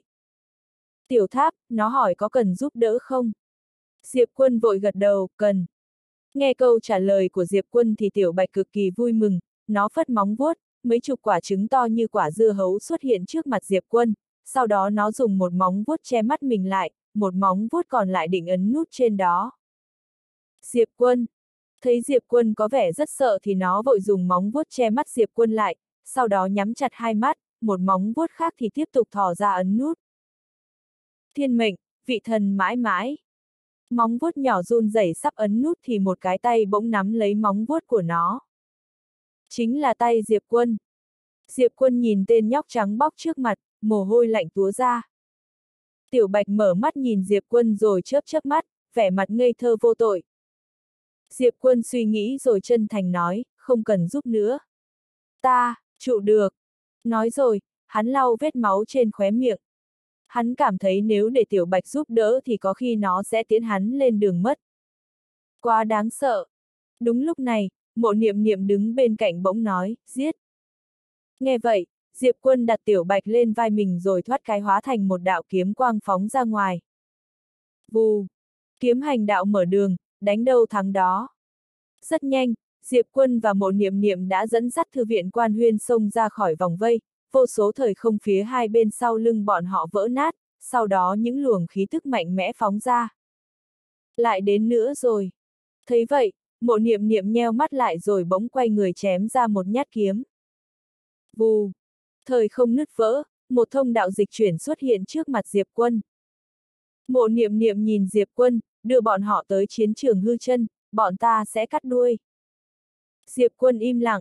Mộ niệm niệm đang định nói tiếp thì Diệp Quân bỗng nhìn các cường giả của vũ trụ quan huyên, chúng ta đi. Ánh mắt mộ niệm niệm lộ ra vẻ tán thưởng. Nếu lúc này mà còn dè già thì đúng là hơi ngu thật. Diệp Quân dẫn tất cả cường giả của vũ trụ quan huyên vào trong thông đạo dịch chuyển. Lúc này, mộ niệm niệm nhìn tiểu bạch trên vai Diệp Quân. Tiểu bạch cũng nhìn mộ niệm niệm, nó nhoẻn miệng cười rồi giơ móng vuốt nhỏ hơ hơ. Mộ niệm niệm chỉ vào Diệp Quân, múa tay gì đó. Tiểu bạch nhìn Diệp Quân rồi gật đầu, bộ vuốt lại hôn loạn. Mộ niệm niệm khẽ cười, giơ ngón tay cái với nó. Nó mỉm cười rồi phất móng vuốt, một quả to bằng trái dưa hấu bay tới trước mặt mộ niệm niệm. Mộ niệm niệm nhìn quả đó, lắc đầu cười rồi cất vào, thứ này chỉ có mình tần quan chơi được. Lúc này, Diệp quân đã vào trong đường hầm thời không, rất nhanh, bọn họ đã biến mất. Mộ niệm niệm quay đầu nhìn những cường giả thần linh kia, càng lúc càng có nhiều cường giả thần linh tới đây. Thiên Tú đứng bên cạnh mộ niệm niệm nhíu mày, chiến trường hư chân thất thủ rồi sao? Mộ niệm niệm khẽ nói, chắc là tình hình không ổn lắm. Thiên Tú trầm mặc. Mộ niệm niệm nhìn những thần linh xông tới kia rồi nói, trần vũ trụ biết được sự tồn tại của thằng nhóc, chắc chắn sẽ không muốn để nó sống. Thiên Tú hỏi, thiên mệnh có ra tay không? Mộ niệm niệm lắc đầu, không đâu. Thiên Tú nhíu mày, vì sao? Mộ niệm niệm nói, thứ nhất, bây giờ bà ấy chỉ muốn đợi tiểu huyên tử bước ra khỏi ngưỡng cửa đó. Thứ hai, bà ấy không có hứng thú gì với chân thế giới. Thứ ba, nếu bà ấy ra tay thì tâm cảnh của tiểu quân sẽ bị phá. Trước đây thì còn tạm, vì thằng nhóc chưa từng trải sự đời, chỉ nghĩ bà ấy là đại kiếm đế, nhưng bây giờ, nếu để thiên mệnh giết chết tất cả những người này chỉ bằng một nhát kiếm trong nháy mắt. Nói đến đây, bà ấy lắc đầu cười, không một ai giữ được tâm kiếm đạo vô địch sau khi nhìn thấy thiên mệnh, nếu thằng nhóc này sinh cùng thời với bà ấy thì còn được, nhưng bây giờ... Nói đến đây, bà ấy không nói tiếp nữa. Thiên Tú cũng im lặng không nói gì thêm. Thế hệ của bọn họ đều chịu ảnh hưởng cực lớn từ thiên mệnh. Có thể nói, phàm những người từng gặp thiên mệnh thì trong tim sẽ có một vị thần. Một vị thần khiến bản thân tuyệt vọng. Trận chiến 3.000 vạn năm trước, dù Diệp Huyên có chật vật đến thế nào cũng không gọi một tiếng thanh nhi. Không chỉ mình Diệp Huyên, cường giả đỉnh cấp thời đó, có ai quen biết thiên mệnh mà không tuyệt vọng đâu. Dù ngươi có tu luyện thế nào, cố gắng đến đâu, lúc ngươi gặp bà ấy cũng sẽ tuyệt vọng thôi. Bà ấy mạnh vậy đấy. Lúc này, mộ niệm niệm bỗng khẽ nói, hơn nữa, đối với vũ trụ quan huyên, thiên mệnh còn nguy hiểm hơn cả chân thế giới nữa.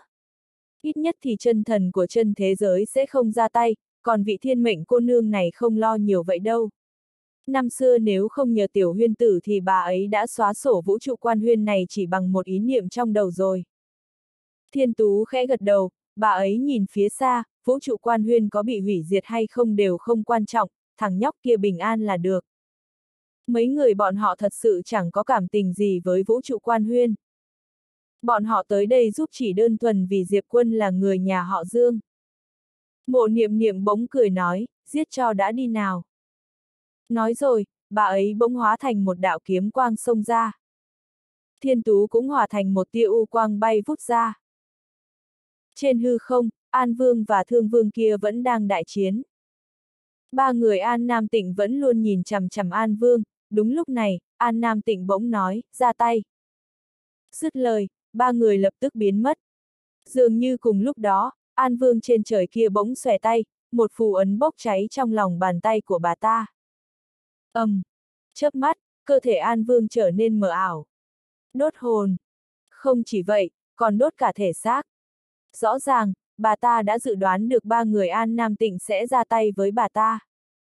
Lúc này, ba người An Nam Tịnh đã giết tới. Dầm! Một luồng sức mạnh khủng bố bỗng từ chỗ An Vương nổ ra bốn phía. Cùng lúc đó, An Vương gắng gượng xé toạc vách ngăn thời không, hóa thành một tia lửa biến mất trong đường hầm thời không, tốc độ cực kỳ nhanh, chớp mắt đã mất tăm mất dạng. Thấy cảnh này, Thương Vương đứng một bên sừng sốt. Bà đốt hồn rồi từ bỏ cả thể xác chỉ để bỏ chạy à. Ba người An Nam Tịnh cũng nhíu mày. Không ngờ An Vương bỏ ra cái giá đắt như vậy để chạy trốn. Quá quyết đoán. Lúc này, An Nam Tịnh bỗng nhìn Thương Vương, thấy ba người họ nhìn mình, sắc mặt Thương Vương bỗng tái mét. Bây giờ ông ta hối hận đã muộn rồi.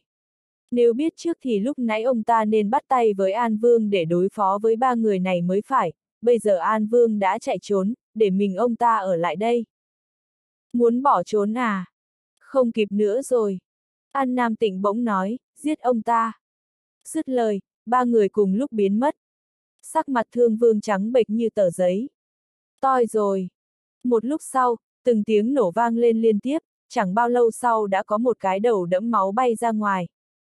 Chính là đầu của thương vương. Giết thương vương xong, An Nam Tịnh nói, đi thôi.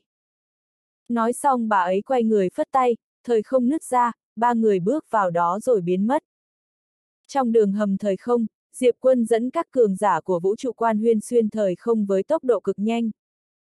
Lý Bán Chi bên cạnh Diệp Quân trầm giọng nói, sắp tới rồi. Diệp Quân hỏi, chiến trường hư chân đã thất thủ rồi sao? Lý Bán Chi im lặng. bà ấy cũng không biết. Rốt cuộc tình hình của chiến trường hư chân bây giờ là như thế nào? Lý Bán Chi bỗng nói, đừng lo lắng. Diệp Quân lắc đầu cười, nói thật thì diễn biến trong hai ngày nay quá nhanh đối với hắn. Chủ yếu là vì kẻ địch quá khủng bố. Âm. Um. Ngay lúc này, thời không phía xa bỗng cuộn trào, một đạo kiếm quang xông ra. Diệp Quân nheo mày, trong lòng thầm đề phòng. Bấy giờ, kiếm quang vỡ nứt, một người phụ nữ bước ra. Thấy người này, Diệp Quân sững sờ. Người này chính là A-la Đại Kiếm Đế. Nhìn thấy A-la Đại Kiếm Đế, Lý Bán Chi chợt thở phào, A-la tới đây nghĩa là chiến trường hư chân chưa hoàn toàn thất thủ. A-la bước tới trước mặt Diệp Quân, bà ấy nhìn chằm chằm Diệp Quân, tới thần điện hư chân. Diệp Quân hỏi, tới đó làm gì? A-la trầm giọng nói, đăng cơ. Đăng cơ. Diệp Quân sững sờ, buột miệng hỏi, cha ta sắp ngỏm rồi à? Mọi người đơ mặt ra. Sắc mặt của A-la cũng trở nên hơi mất tự nhiên. Đại sư huynh Trần Quan Tử kéo tay áo Diệp Quân, sư đệ, cẩn thận lời nói. Dù sao ông ấy cũng là cha đệ mà. Diệp Quân cười gượng, hắn lỡ lời. Chắc là bị tháp ra ảnh hưởng. Tiểu tháp. A-la nhìn Diệp Quân, không ngỏm, nhưng bây giờ cậu buộc phải đăng cơ. Diệp Quân không hiểu, vì sao? A-la khẽ nói, trấn an lòng quân. Trấn an lòng quân. Diệp Quân đang định hỏi gì đó thì thời không xung quanh bỗng rung lên kịch liệt, vô số khí tức mạnh mẽ đổ xô về phía hắn. Thấy cảnh này, sắc mặt Diệp Quân chợt biến đổi. Bấy giờ, A-la bỗng quát lên, đệ tử kiếm tông đâu? Vù! Bỗng chốc cả trăm kiếm tu xông ra từ đường hầm thời không phía xa. Lúc nhìn thấy những kiếm tu này, Diệp Quân sửng sốt. Cả trăm vị kiếm đế. Phi thường. Cả trăm vị kiếm đế kia xông ra hai bên của đường hầm thời không, chẳng mấy chốc, bên ngoài đã vang lên tiếng chém giết quyết liệt. A la bỗng kéo tay Diệp Quân, đi. Mọi người đều đang đợi cậu. Diệp Quân ngơ ngác. Đều đang đợi mình. A la không nói thêm gì, kéo Diệp Quân đi nhanh về phía xa. Mọi người cũng vội theo sau. Trên đường đi, Diệp Quân thầm hỏi, tháp ra, ta. Ta phải chuẩn bị gì để đăng? Đăng cơ, ví như là nói gì này? Ta không có kinh nghiệm gì cả. Sau một hồi im lặng, tiểu tháp nói, người muốn nói gì thì nói đó. Diệp Quân suy nghĩ rồi nói, tháp ra, ta bỗng thấy hơi căng thẳng. Ha ha! Tiểu tháp bỗng bật cười thật lớn. Thì ra thằng nhóc khốn này cũng biết căng thẳng. Diệp Quân nhìn phía xa, cách mấy trăm trượng có một màn sáng. Thế giới hư chân. Ngay lúc này đây, hắn thật sự thấy hơi căng thẳng. Hắn đã trải qua sự kiện lớn thế này bao giờ đâu. Đăng cơ trở thành vua của vũ trụ quan huyên. Trước đó, hắn chỉ là con cháu của một gia tộc họ Diệp nho nhỏ. Mà bây giờ, hắn sắp trở thành vua của vũ trụ quan huyên rồi. Như mơ vậy. Diệp quân bỗng hỏi, tháp ra, trở thành vua của vũ trụ quan huyên, mỗi ngày được bao nhiêu bổng lộc vậy? Tiểu tháp. Diệp quân cười ha ha, rất nhanh, hắn và A-la đã xuyên qua màn sáng kia. Trước mắt lóe sáng, Diệp quân cảm thấy chói mắt, một lúc sau hắn từ từ mở mắt ra, lúc này hắn đã đứng trong một mảng hư không, trước mặt hắn có vô số cường giả, bọn họ đều đang nhìn hắn. Trên trời, vô số thời không nứt vỡ, các cường giả thần linh đang không ngừng tiến vào chiến trường hư chân, đại chiến rất kịch liệt. Diệp quân đứng đó, lúc này hắn không biết phải làm gì. Tất cả mọi người đều đang nhìn hắn. Diệp quân khẽ hỏi, tháp ra, cha ta đâu? Cha! Lúc này có rất nhiều người xung quanh nhưng Diệp quân lại cảm thấy cô độc và lạ lẫm. Hai ngày nay, cuộc đời hắn thay đổi quá quá nhiều. Từ một thế tử nhỏ bé của gia tộc họ Diệp biến thành vua của vũ trụ quan huyên, sự thay đổi thân phận này khiến hắn không kịp thích nghi. Hơn nữa hắn cảm thấy rất áp lực. Con trai của kiếm chủ nhân gian. Hắn biết, người của vũ trụ quan huyên chấp nhận hắn vì hắn là con của kiếm chủ nhân gian chứ không phải vì chính hắn. Đây là vinh quang mà cha hắn để lại. Hắn hiểu rất rõ, vinh dự này thuộc về cha hắn, còn đối với hắn, đó là áp lực. Áp lực nặng nề chưa từng có. Trở thành vua của vũ trụ quan huyên, sau đó bảo vệ vũ trụ quan huyên. Trọng trách này rất nặng nề. Đè nén khiến hắn không thở được. Mục đích ban đầu của hắn chỉ là muốn cứu sống tiểu ca, sau đó đưa gia tộc họ Diệp thành gia tộc lớn, nhưng bây giờ hắn phải bảo vệ cả vũ trụ quan huyên. Trách nhiệm này thật sự quá lớn lao.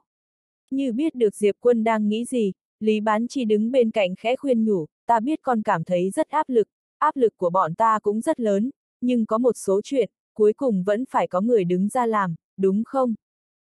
Nói rồi, bà ấy nhìn chân trời xa xôi, con nhìn thấy những thần linh kia không? Mục đích cuối cùng của bọn chúng là luyện chế tất cả cường giả của chúng ta thành linh nguyên, sau đó hủy diệt vũ trụ quan huyên. Diệp quân nhìn phía cuối chân trời, sau một hồi trầm mặc, hắn quay người nhìn những người trước mặt hắn. Lúc này, kiếm tông chỉ còn chưa đến 100 vị kiếm tu, trước khi đến đây có những mấy trăm vị. Họ đã chết trên đường đến đây. Ngoài ra, những cường giả của vũ trụ quan huyên ở đây cũng đã thương vong quá nửa. Những người này đều chết vì diệp quân hắn. Vì sao bọn họ lại liều mạng bảo vệ mình? Vì họ tín ngưỡng kiếm chủ nhân gian. Kiếm chủ nhân gian bảo vệ vũ trụ này. Đây là vinh quang của kiếm chủ nhân gian. Mình là con trai của kiếm chủ nhân gian, được hưởng thụ lợi ích từ vinh quang này thì đương nhiên cũng phải gánh trách nhiệm tương đương. Nghĩ đến đây, Diệp Quân bỗng thấy thoải mái hơn, hắn nhếch miệng cười, từ hôm nay, ta sẽ dốc hết sức mình để bảo vệ vũ trụ này, mãi đến khi chết đi. Nghe thế, mọi người bỗng phấn khởi hẳn. Diệp Quân quay người nhìn A-La, đăng cơ. A-La khẽ cười, được. Vũ trụ quan huyên bây giờ cần một vị vua. Ba nghìn vạn năm nay, kiếm chủ nhân gian không xuất hiện, bây giờ lòng người ở vũ trụ quan huyên đã có phần lơi lỏng rồi. Cần một người để đoàn kết họ lại.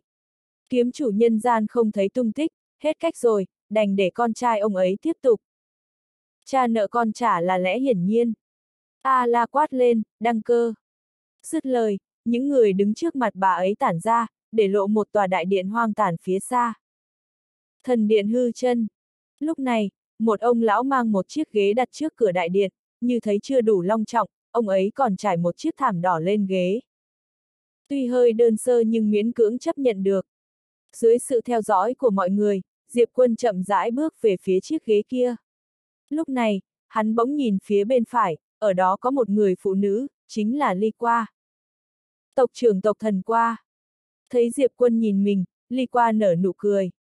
Diệp Quân khẽ cười rồi nhìn sang bên cạnh Ly Qua, ở đó có một người phụ nữ cầm kiếm. Diệp Vũ Đại Kiếm Đế. Hắn đã gặp người này ở Nam Châu rồi. Thấy Diệp Quân nhìn, Diệp Vũ khe cười. Diệp Quân mỉm cười, thu hồi ánh mắt rồi tiếp tục đi về phía trước. Mọi người xung quanh đều đang nhìn hắn. Con trai của kiếm chủ nhân gian. Bọn họ cũng vừa nhận được tin này, thế nên đều rất tò mò về Diệp Quân. Giờ phút này nhìn thấy Diệp Quân, họ đều mỉm cười. Rất giống với kiếm chủ nhân gian, quan trọng hơn, vị này còn là một vị đại kiếm đế. Đại kiếm đế trẻ đến thế này. Thật sự là yêu nghiệt. Đúng lúc này, bỗng có sự cố xảy ra. ầm, um, thời không ở chân trời xa xôi nứt ra một mảng lớn, ngay sau đó là một tia kim quang vạn trượng chiếu tới. Trong ánh nhìn của mọi người, một chàng trai chậm rãi bước ra. Sau lưng chàng trai này là ba ông lão. Ba vị thần đế. Ngoài ra, sau lưng chàng trai còn có hàng vạn cường giả cấp thần quân. Nhìn thấy đội hình này, A-la cau cặt mày. Chàng trai này xuất hiện, những thần linh có mặt ở chiến trường cũng lũ lượt lui ra sau lưng gã. Chàng trai bỗng nhìn Diệp Quân, gã bước tới một bước, một bước này đã tới cách Diệp Quân trăm trượng. Tới rất gần với mọi người. Nhưng ánh mắt của chàng trai này không hề có chút sợ hãi nào. Chàng trai quan sát Diệp Quân rồi cười nói, ngươi chính là hậu nhân của kiếm chủ nhân gian à. Diệp Quân nhìn chàng trai kia, có phải ngươi muốn khiêu chiến không? Mọi người ngẩn ra. Chàng trai cũng hơi sửng sốt, rõ ràng gã không ngờ Diệp Quân lại thẳng thắn đến vậy. Chàng trai cười nói, đúng vậy. Nói xong, gã quan sát đánh giá Diệp Quân rồi nói, cảnh giới của ngươi thấp như vậy, ta cũng không ước hiếp ngươi. Nói xong gã bông ép tay phải xuống, cảnh giới của gã đã bị đè xuống thiên pháp. Diệp quân bỗng gọi, thiên thiên. ầm, um. Dứt lời, Ngao Thiên Thiên chủ động tách ra khỏi Diệp Quân, cô ta nhìn Diệp Quân rồi đứng sang một bên. Lúc này, A-la bỗng kéo tay Diệp Quân rồi lắc đầu. Những cường giả thư viện quan huyên khác cũng lắc đầu, ý bảo hắn đừng làm vậy. Diệp quân vừa nhận tổ quy tông, thư viện quan huyên chưa kịp bồi dưỡng hắn, tuy hắn bây giờ đã là đại kiếm đế nhưng cảnh giới quá thấp. Còn chàng trai trước mặt này rõ ràng không phải là người bình thường. Đây là một cái bẫy. Nếu Diệp quân không ứng chiến thì uy danh của Diệp quân sẽ bị giảm sút. Nếu Diệp quân ứng chiến thì hắn sẽ gặp nguy hiểm. Đúng lúc này, chàng trai kia bỗng cười nói, nếu còn chưa đủ thì ta có thể giảm thêm một cấp nữa. Dứt lời, tay phải gã ép xuống, cảnh giới đã giảm xuống đến địa pháp. Thấy cảnh này, tất cả cường giả của thư viện quan huyên bên này đều tức giận. Diệp quân nhìn A-la, cười bảo, không sao đâu ạ. À. A-la im lặng nhìn hắn. Diệp quân chân thành nói, tin con.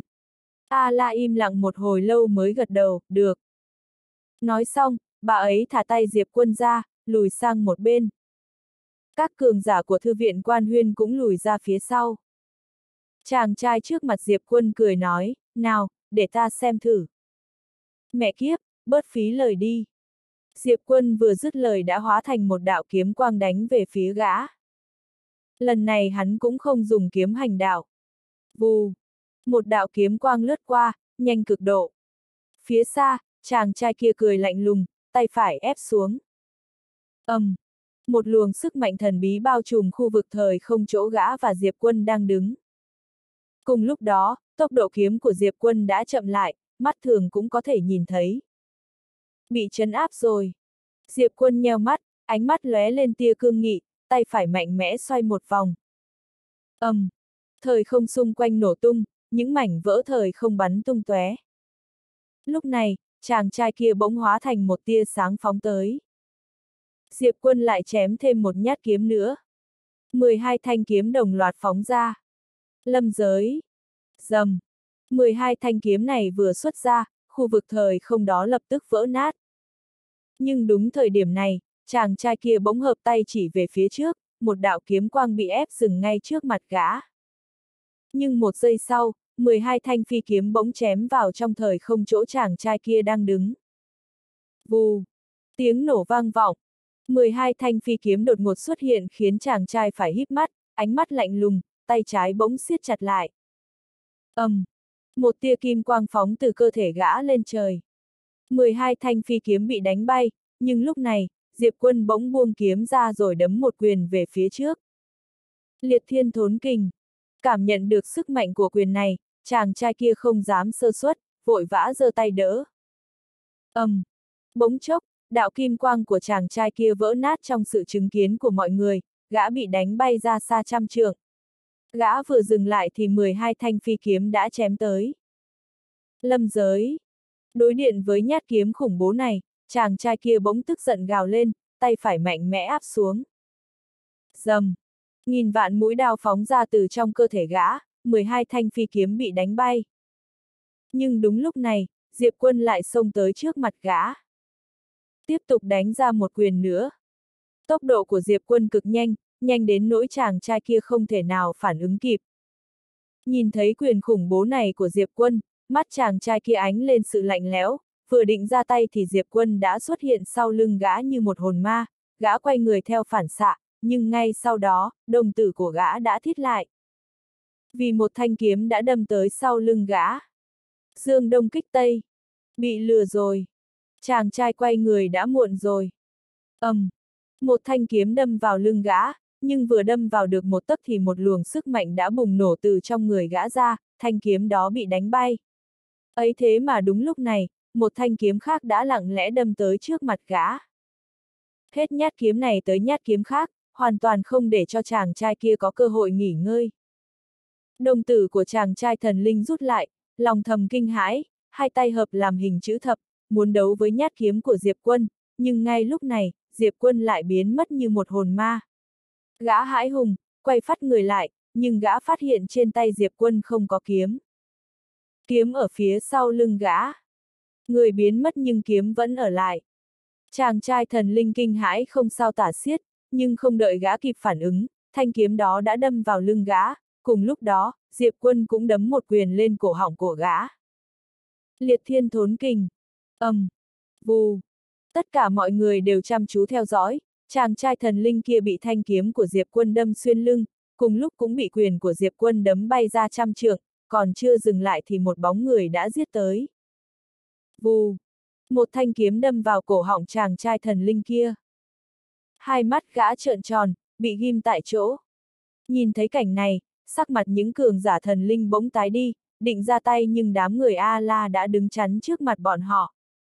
Diệp quân nhìn chàng trai thần linh với vẻ mặt khó tin kia, nhếch miệng cười khinh, ra vẻ trước mặt ta. Ngươi xứng sao? Dứt lời, hắn cầm kiếm vung lên. Vù! Đầu của chàng trai thần linh kia bay vút ra mấy chục trường. Hay! Tất cả cường giả của vũ trụ quan huyên sôi trào. Đại kiếm đế! Võ thần! Ý chí chiến đấu này quả thật nghịch thiên. Diệp quân lạnh lùng nhìn những thần đế kia, sau đó quay người đi về hướng đại điện hư chân. Nhưng đúng lúc này, trên con đường kim quang kia, nhiều luồng khí thức mạnh mẽ trào ra, một người phụ nữ chậm rãi bước ra.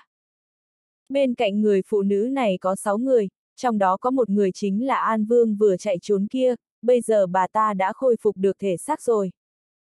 Những người này đều là sự tồn tại khủng bố cùng cấp bậc với An Vương. Sau sáu người này còn có 36 cường giả khủng bố nữa. Thần đế. 36 vị thần đế.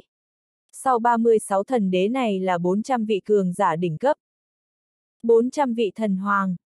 Sau lưng những thần hoàng này là vô số thần chủ và thần quân, thần tướng thì có đến hơn mấy chục vạn. Nhìn thấy đội hình này, sắc mặt của các cường giả vũ trụ quan huyên đều trở nên nặng nề. Sắp nổ ra một trận đại chiến rồi sao? Diệp quân nhìn người phụ nữ áo trắng dẫn đầu kia, đây là chân thần à? Tiểu tháp, không phải. Lúc này, giọng nói bí ẩn trong tháp bỗng lên tiếng, là một vị linh hồn của vũ trụ, âm thần, từng cắn nuốt mấy nghìn lần luân hồi văn minh. Thế này được xem là ức hiếp mình rồi. Có thể gọi người. Âm thần. Diệp quân trầm mặc một hồi thì lấy tiểu tháp ra, tháp ra, ngươi ra đánh đi. Tiểu tháp vội nói, ôi địch, bà ấy bảo ngươi gọi người chứ không phải gọi tháp, ngươi nghe cho kỹ chứ. Sao cứ hễ gặp chuyện xấu là ngươi lập tức nghĩ tới tháp ra ta vậy? Không được đâu. Diệp quân. Âm thần nhìn Diệp quân với ánh mắt bình thản, đăng cơ. Chắc là ngươi không có cơ hội rồi. Vậy sao? Đúng vào lúc này, một tiếng kiếm kêu bất thình lình vang lên bên cạnh, một thanh kiếm bay ra từ trong tay một người phụ nữ. Kiếm thanh huyên. Trong sự theo dõi của tất cả mọi người, một người đàn ông chậm rãi bước ra từ kiếm thanh huyên. Tóc trắng, huyền bào. Kiếm chủ nhân gian. Nhìn thấy kiếm chủ nhân gian, tất cả cường giả của vũ trụ quan huyên đều xôn xao, rất nhiều người đã quỳ xuống vái lạy. Diệp quân nhìn kiếm chủ nhân gian ở đằng xa, không nói gì. Kiếm chủ nhân gian bỗng bước tới trước một bước, tới bên cạnh Diệp quân. Mà lúc này, một người phụ nữ cũng đột ngột xuất hiện bên phải Diệp quân. Tần quan. Tần quan bỗng kéo tay phải của Diệp quân, kiếm chủ nhân gian thì cầm tay trái của hắn, ông ấy khẽ cười, đi thôi, đăng cơ.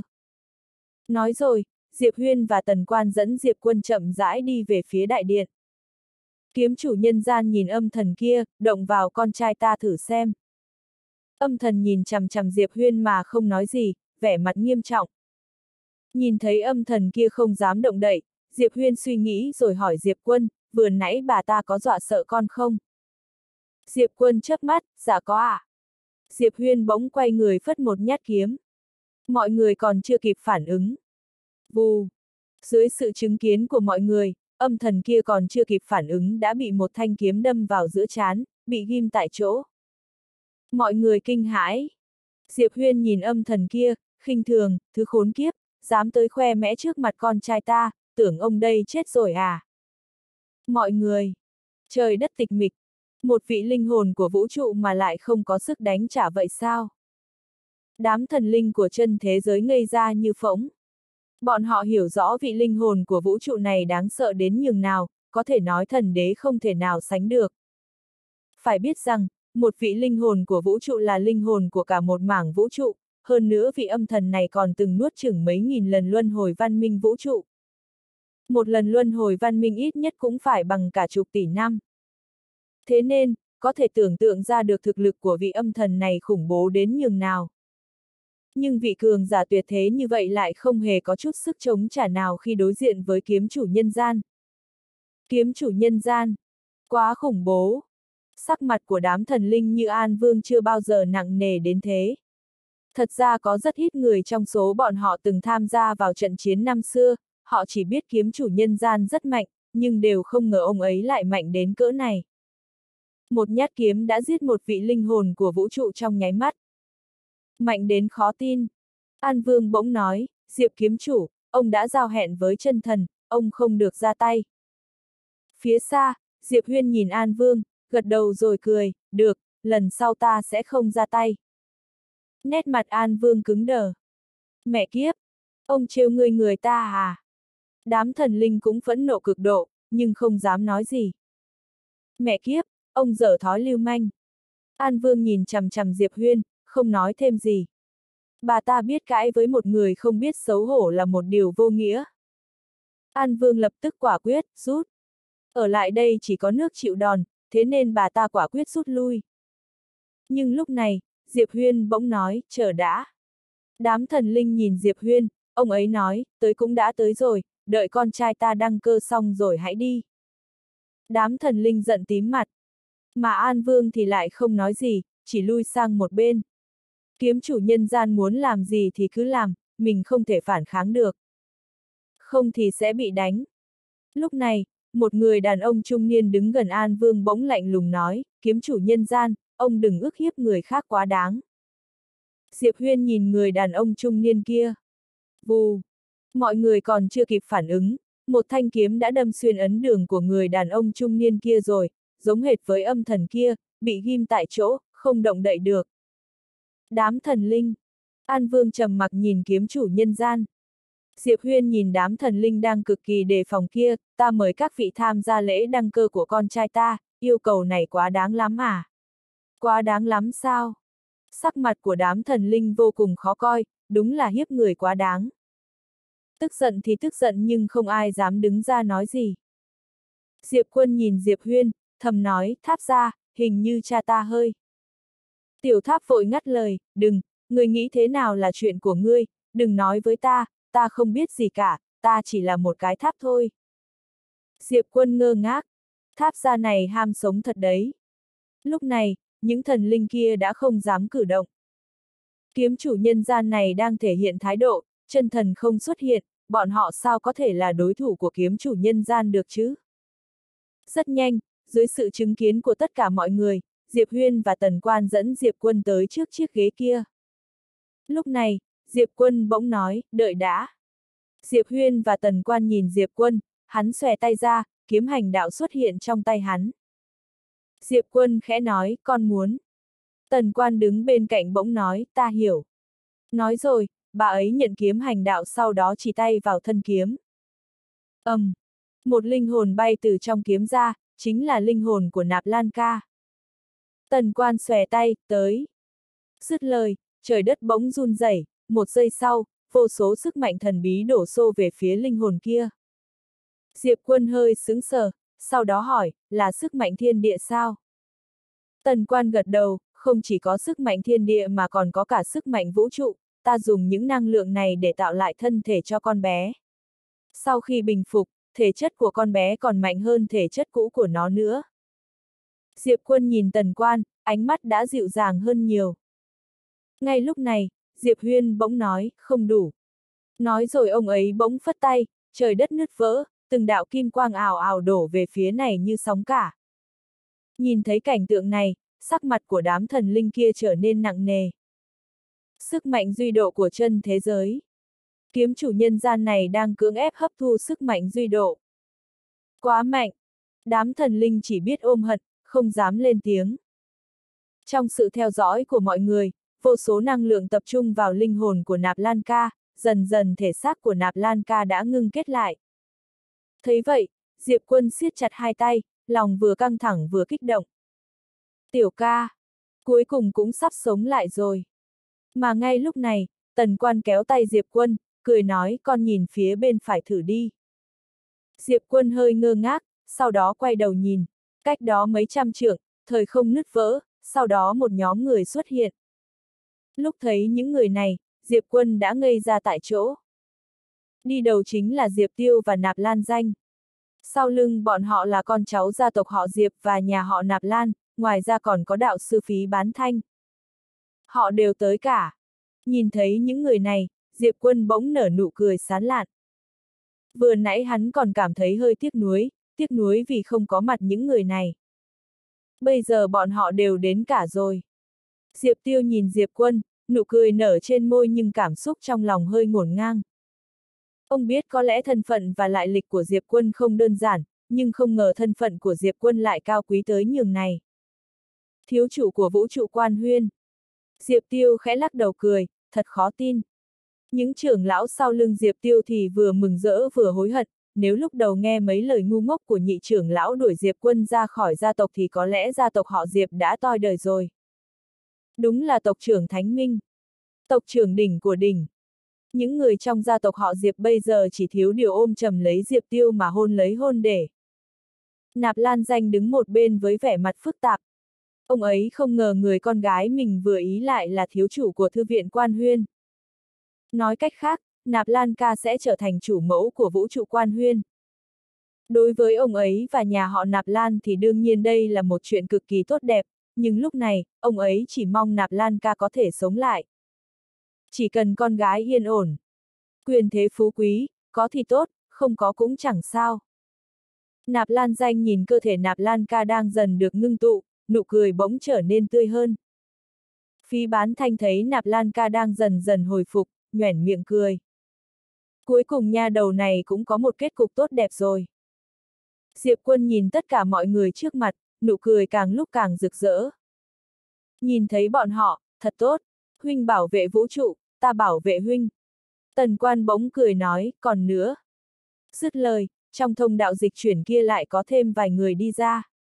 Dẫn đầu chính là Tần Phong, ngoài Tần Phong còn có quản sự mạc nhã của tiên bảo các ở Trung Thổ Thần Châu, cùng với ông phó quản sự ban đầu của tiên bảo các Thanh Châu và cả ông lão canh tháp ở huyền tháp. Mấy người này là những người duy nhất trong tiên bảo các không đối phó với hắn, đồng thời còn giúp đỡ hắn lúc hoạn nạn. Nhìn thấy những người này, Diệp Quân cũng ngẩn người. Hắn không ngờ tần quan mời tất cả bọn họ đến đây. Nhọc tâm quá. Diệp Quân im lặng nhìn tần quan, khẽ gật đầu. Nhìn thấy Diệp Quân, tần phong mỉm cười, y khá là chấn động, vì y thật sự không ngờ Diệp Quân lại là thiếu các chủ của tiên bảo các. Đúng là quá, quá đáng mừng. Mạc Nhã cũng cảm thán, vì cô ta cũng không ngờ người mình nhìn chúng lúc đầu lại là thiếu các chủ nhà mình. Bất ngờ này quá lớn. Thiếu các chủ đấy. Mạc Nhã bỗng cảm thấy mọi thứ không thật chút nào, như mơ vậy. Còn ông phó đứng một bên thì cười không khép được mồm. Khi xưa ông ta thấy chàng trai này rất được nên quyết định giúp một tay, mẹ kiếp, ông ta không ngờ chàng trai ấy lại là thiếu chủ nhà mình. Đúng là đời người vô thường mà. Giây phút này, tất cả uất ức khổ nhục ban đầu đều tan biến như mây khói. Ông lão canh tháp cũng cười tươi như hoa. Ông ta cược đúng rồi. Mẹ nó, ông đây cược đúng rồi nhé. Ông đây sắp bay lên trời rồi này. Giờ phút này đây, ông ta rất muốn hát hò thật to rồi nhảy một điệu thoát y. Vui nhất là vì ông ta biết, chắc chắn mình là người đầu tiên trong tiên bảo các biết được thân phận của Diệp Quân. Giống quá mà. Bấy giờ, ông ta nhìn không được mắng đám trưởng lão kia, mắt các người mọc ở dưới đít à. Ai nấy đều ngồi trên cao mà mắt không tinh bằng một ông lão canh tháp như ta. Lúc này, tần quan bỗng xòe tay ra, sau đó khẽ phất tay. Đám tần phong đã xuất hiện cách chỗ Diệp Quân không xa. Tần Phong khom người thật sâu hành lễ với tần quan, sau đó nhìn Diệp Quân, đang định hành lễ thì Diệp Quân đỡ y rồi cười nói, ta với huynh vẫn xưng nhau là huynh đệ nhé. Tần Phong cười mà không nói gì. Trong lòng cảm động. Nhưng y biết, sau này phải có chừng mực. Lúc này, Tần Quan bỗng nói, từ bây giờ, Tần Phong là đại trưởng lão nội các, Mạc Nhã cô nương, ba người các cô cũng được thăng lên làm trưởng lão trong hội trưởng lão. Trưởng lão nội các, nghe lời Tần Quan nói, ba người Mạc Nhã như bị xét đánh, ngây ra như phỗng. Trở thành trưởng lão nội các sao? Ba người đều tỏ vẻ khó tin. Bọn họ vốn chỉ là quản sự nho nhỏ ở tiểu thế giới bên dưới thôi. Mà bây giờ đã trở thành trưởng lão của tổng các sao. Đúng là một bước lên trời. Ông lão canh tháp kia là người đầu tiên hoàn hồn lại, lập tức quỳ xuống, run giọng nói, vạn tuế, vạn tuế, vạn vạn tuế. Mọi người, Mạc Nhã và ông phó hoàn hồn lại thì cũng quỳ xuống. Đúng là một bước lên trời. Trưởng lão của hội trưởng lão, quyền thế lớn đến cỡ nào? Có thể nói, theo lẽ thường thì bọn họ có dốc sức cả vạn năm cũng không thể vào được hội trưởng lão, không đúng, còn không vào được tổng các nữa. Mà bây giờ, nhoáng một cái họ đã trở thành trưởng lão của hội trưởng lão, trở thành những người có quyền lực nhất trong tiên bảo các rồi. Đây chính là một bước lên trời. Diệp quân cũng hơi bất ngờ, nhưng hắn cảm thấy đây là chuyện tốt. Mấy người này đều rất tốt, nếu bọn họ quản lý tiên bảo các thì hắn sẽ không phản cảm với tiên bảo các như trước đây nữa. Như biết được hắn đang nghĩ gì, tần quan nhìn hắn một cái rồi nhoẻn miệng cười. Diệp quân nhìn tần quan, khẽ nói con cảm ơn. Nụ cười của tần quan rực rỡ hơn hẳn, cảm ơn cái gì? Bọn họ là ân nhân của con thì chính là ân nhân của mẹ, chúng ta là người một nhà, phải không? Diệp quân khẽ gật đầu. Thấy Diệp quân gật đầu, nụ cười trên mặt tần quan càng lúc càng sán lạn. Diệp quân đang định nói gì đó thì bỗng quay đầu nhìn phía bên phải, bấy giờ, thân xác của nạp lan ca đã hoàn toàn khôi phục. Chẳng mấy chốc, nạp lan ca đã chậm chậm mở mắt ra. Diệp quân vội vã bước tới trước mặt nạp lan ca, hắn giơ tay nắm lấy tay nạp lan ca, run giọng gọi tiểu ca. Ánh mắt nạp lan ca hơi mờ mịt, lúc nghe thấy Diệp quân gọi, cô hoàn hồn, nhìn Diệp quân, khẽ đáp tiểu quan. Nghe tiếng nạp lan ca, mắt Diệp quân mở sương, hắn ôm chầm lấy cô. Hắn của bây giờ vui như một đứa trẻ. Nạp lan ca cũng đã phục hồi tinh thần, cô nhìn chàng trai trước mặt, nước mắt không kìm được rơi lã trã. Được sống lại như đã trải qua mấy kiếp. Nhưng chàng trai trước mặt không hề thay đổi chút nào. Nhìn hai người đang ôm nhau, tất cả mọi người ở đây đều hiểu ra một chuyện. Cô gái tên Nạp Lan Ca này chính là chủ mẫu của vũ trụ quan huyên bây giờ. Sắc mặt của vài người trong số đó trở phức tạp. Tịch huyền nhìn hai người đang ôm nhau, lặng lẽ cúi đầu, khẽ nói, Nạp Lan Ca cô nương này thật sự rất xinh đẹp. Nam Lăng nhất nhất khẽ cười nhìn Diệp Quân và Nạp Lan Ca, nhưng nụ cười này có phần chua xót. Một bên khác, Phi bán thanh mỉm cười nhìn hai người ôm nhau ở đằng xa, vừa vui mừng, trong lòng vừa có tư vị gì đó khó tả. Ngao Thiên Thiên nhìn hai người, vẻ mặt vô cùng phức tạp. Đúng lúc này, Diệp Quân bỗng buông nạp lan ca ra. Hắn dẫn nạp lan ca tới trước mặt Diệp Huyên và Tần Quan, hắn khẽ cười, tiểu ca, hai vị này. Chính là cha và mẹ huynh. Nghe Diệp Quân nói vậy, Diệp Huyên bỗng cười lớn. Nụ cười của Tần Quan thì rực rỡ không gì sánh bằng, bà ấy bỗng lấy ra chiếc túi nhỏ kia rồi đặt lên tay nạp lan ca, cười nói, sau này, tiền của tiên bảo các đều do con quản lý. Thấy thế, người của cả tiên bảo các đều nhìn nạp lan ca. Không chỉ là chủ mẫu tương lai, cô nương này còn là các chủ của tiên bảo các. Diệp Huyên lấy ra một chiếc nhẫn đặt vào tay Diệp Quân, cười nói, từ bây giờ, vũ trụ quan Huyên giao cho con. Diệp Quân nhìn Diệp Huyên, thế còn cha thì sao? Diệp Huyên cười ha ha, sau này, vũ trụ quan Huyên này không cần phải tín ngưỡng ai nữa cả. Bọn họ nên tín ngưỡng chính bản thân mình, bản thân mới chính là thần của mình. Sau ta, trong lòng người của vũ trụ quan huyên sẽ không còn vị thần nào nữa, ai cũng có thể phá đi vị thần trong lòng mình. Dứt lời, ông ấy quay người. ầm, um, bỗng chốc, nhân gian kiếm ý trong người ông ấy bỗng trào từ trong cơ thể ra ngoài rồi dần dần tan biến. Giải trừ nhân gian kiếm ý. Tất cả mọi người đều sửng sốt. Kiếm chủ nhân gian đang làm gì vậy? Tuy nhân gian kiếm ý đang tan biến từng chút một nhưng khí tức của ông ấy đang tăng đột biến. Mà sâu trong dãy núi thanh khư của thư viện quan huyên, một người phụ nữ chậm rãi mở mắt ra. ầm, um, trời đất chấn động. Người phụ nữ chậm rãi ngồi dậy, một luồng khí tức khủng bố lan tràn từ người bà ấy ra. Ngày hôm nay, hai huynh muội cùng nhau lật đổ thần. Ngủ say ba nghìn vạn năm chỉ vì giây phút này của huynh. Huynh bảo vệ vũ trụ, ta bảo vệ huynh. Phá thần. Tất cả mọi người đang có mặt đều liếc nhìn kiếm chủ nhân gian, vô cùng kích động. Lúc này, khi kiếm ý của kiếm chủ nhân gian dần tan biến, khí tức của ông ấy lại trở nên khủng bố hơn. Áp lực của khí thế cường đại áp chế lên vũ trụ tinh không. Cả đám thần linh nhìn kiếm chủ nhân gian, vẻ mặt nghiêm trọng trước nay chưa từng có. Kiếm chủ nhân gian muốn đột phá sao? Đám thần linh thầm kinh ngạc. Không đúng. Đúng lúc này, An Vương nhìn Diệp Huyên chăm chăm, không phải ông ta đang đột phá mà là ông ta không còn áp chế bản thân nữa. Không còn áp chế bản thân nữa.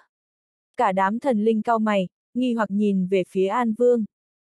An Vương siết chặt hai tay, vẻ mặt nghiêm trọng trước nay chưa từng có, những năm trở lại đây, ông ta vẫn luôn áp chế cảnh giới của bản thân. Một thần linh trong số đó hỏi, tại sao? An Vương lắc đầu, không nói gì cả. Cả đám thần linh bày ra vẻ mặt nghi hoặc. Khí tức của Diệp Huyên càng lúc càng mạnh hơn. Khoảnh khắc này, vũ trụ tinh hà rộng lớn chợt trở nên thật nhỏ bé ở trước mặt ông ấy. Bên cạnh Diệp Huyên, Diệp Quân khẽ nói cha, tại sao cha lại gạt bỏ nhân gian kiếm ý? Nghe thấy câu hỏi của Diệp Quân, Diệp Huyên bật cười, ông ấy xoa đầu Diệp Quân, khẽ cười nói, vũ trụ quan huyên không cần tôn thờ một vị thần, người bọn họ nên tôn thờ là bản thân, con cũng vậy, ghi nhớ, bản thân mới là vị thần của chính mình. Diệp quân trầm mặc, hắn đã hiểu, kiếm chủ nhân gian bảo vệ cho vũ trụ quan huyên, trở thành vị thần của vũ trụ quan huyên. Thế nhưng bây giờ đối với vũ trụ quan huyên, quả thực kiếm chủ nhân gian lại là trở ngại của mọi người. Lúc ông ấy bảo vệ cho vũ trụ quan huyên đồng thời cũng đang nuôi dưỡng một vị thần trong lòng tất cả mọi người của vũ trụ quan huyên. Đây cũng là lý do tại sao từ sau ông ấy, vũ trụ quan huyên không còn ai có thể phá thần thêm nữa. Hôm nay, ông ấy gạt bỏ nhân gian kiếm ý là muốn nói với vũ trụ quan huyên, kể từ nay về sau, mấy người không cần phải tôn thờ ta nữa. Người mà mấy người nên tôn thờ chính là bản thân mấy người. Không còn tôn thờ thần thì ai cũng có thể phá thần. Đây chính là mục đích của ông ấy. Thế nhưng ông ấy cũng biết quá trình tự trưởng thành này sẽ rất đau khổ.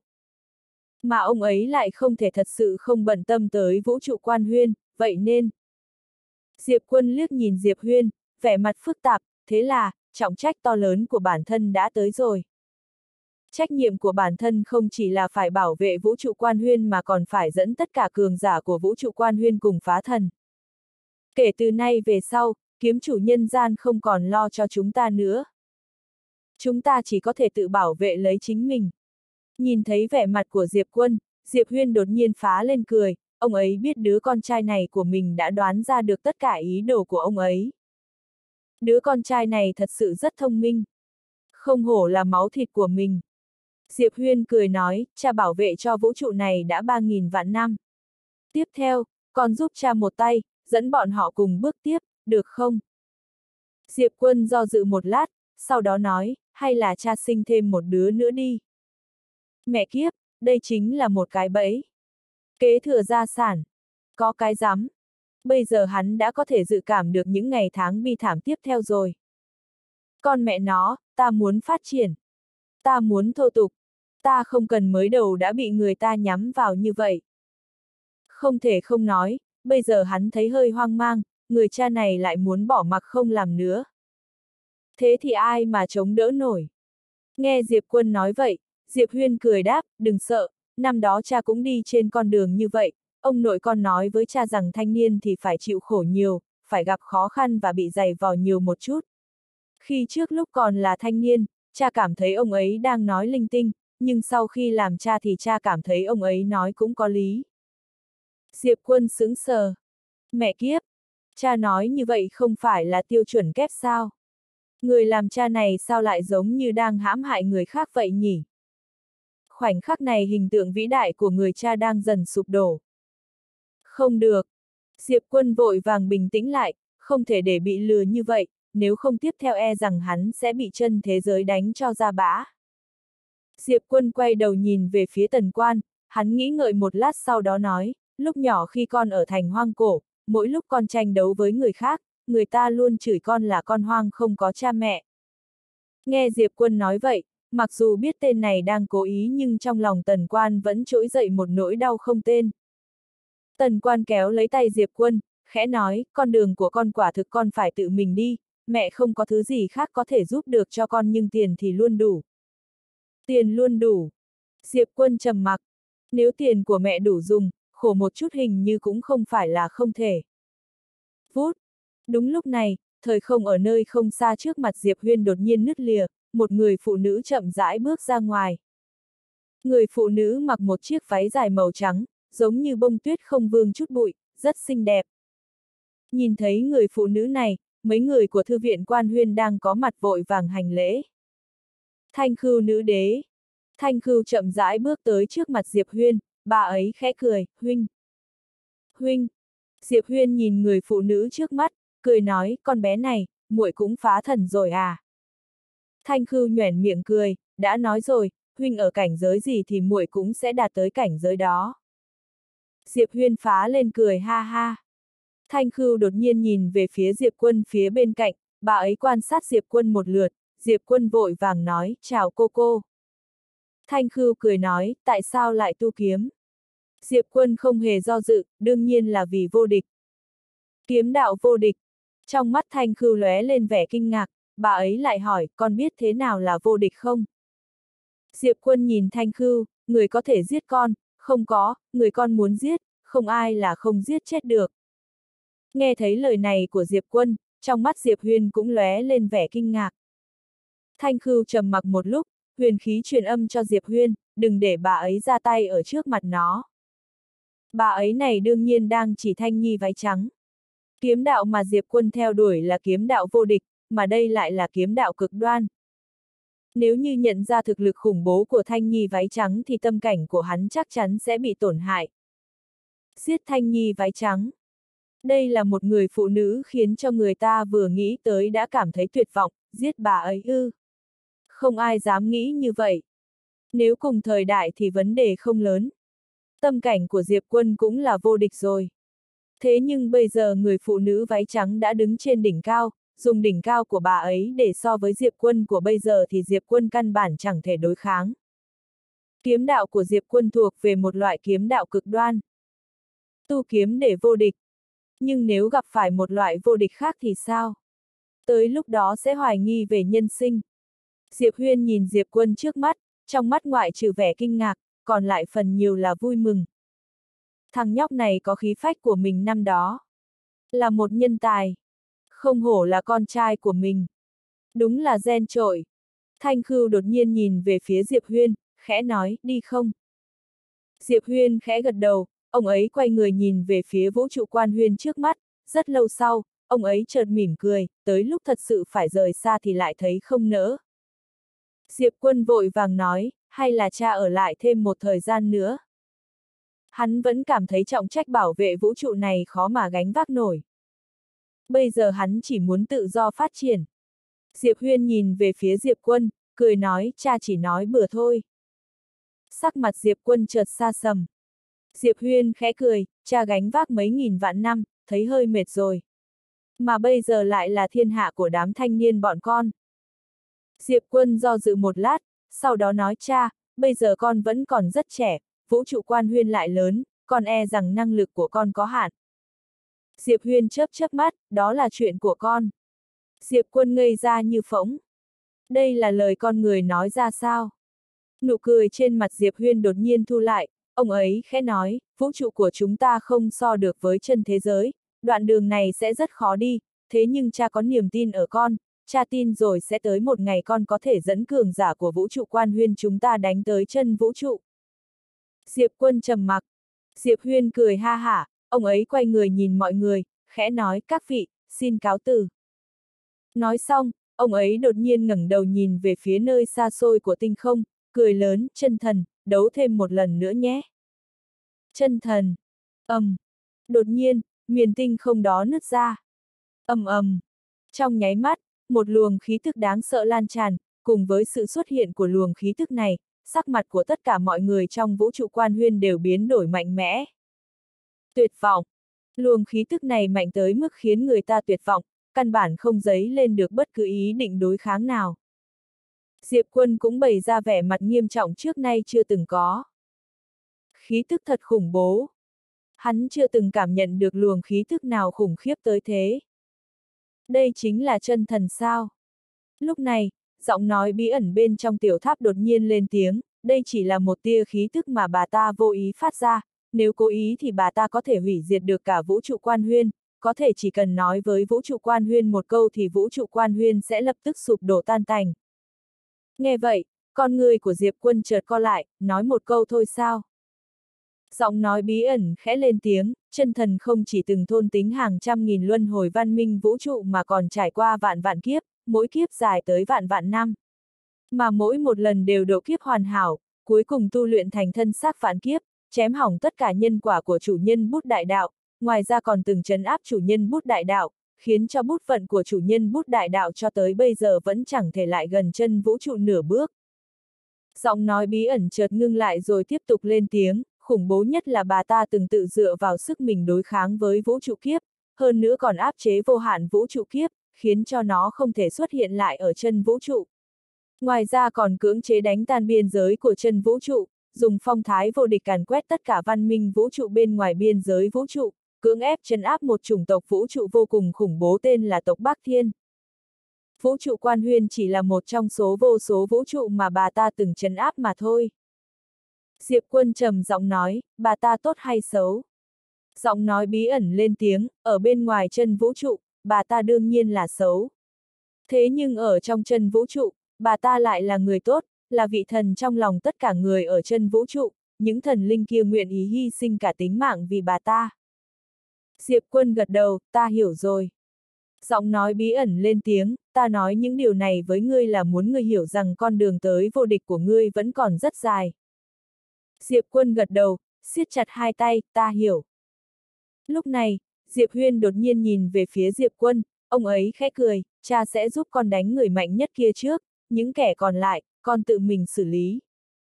Diệp quân chớp mắt, có thể giúp con đánh hết được không? Diệp Huyên phá lên cười ha hả, con cứ mơ đi, cha nói cho con biết, con gặp được người cha như ta thì con phải thấy mừng thầm đấy. Nếu như con gặp phải người cha giống như ông nội con, thì con sống mấy trăm năm e rằng ngay cả cha của mình là ai cũng không biết. Diệp quân trầm mặc, người cha này hình như không hợp với ông nội cho lắm. Diệp Huyên lại nói, trước đây ông nội con là kiểu con trai thì nuôi theo kiểu người nghèo, con gái thì nuôi theo kiểu người giàu. Cha công bằng hơn ông ấy một chút, tỷ đệ các con đều như nhau, tỷ tỷ của con phát triển không tệ, bản thân con cũng phải cố lên. Diệp quân cau mày. Tỷ tỷ ư, ta còn một tỷ tỷ nữa sao? Ở đâu vậy? Diệp Huyên quay đầu nhìn về phía vũ trụ quan huyên, ông ấy khẽ cười, sau đó kéo tay Thanh Khưu, khẽ nói, thế gian này không còn kiếm chủ nhân gian nữa rồi. Nói xong, ông ý bật cười lớn, dẫn theo Thanh Khưu và Tần Quan bay lên trời, biến mất ở tận cuối của vũ trụ tinh hà. Thế gian không còn kiếm chủ nhân gian nữa. Một thời đại khép lại. Đi rồi.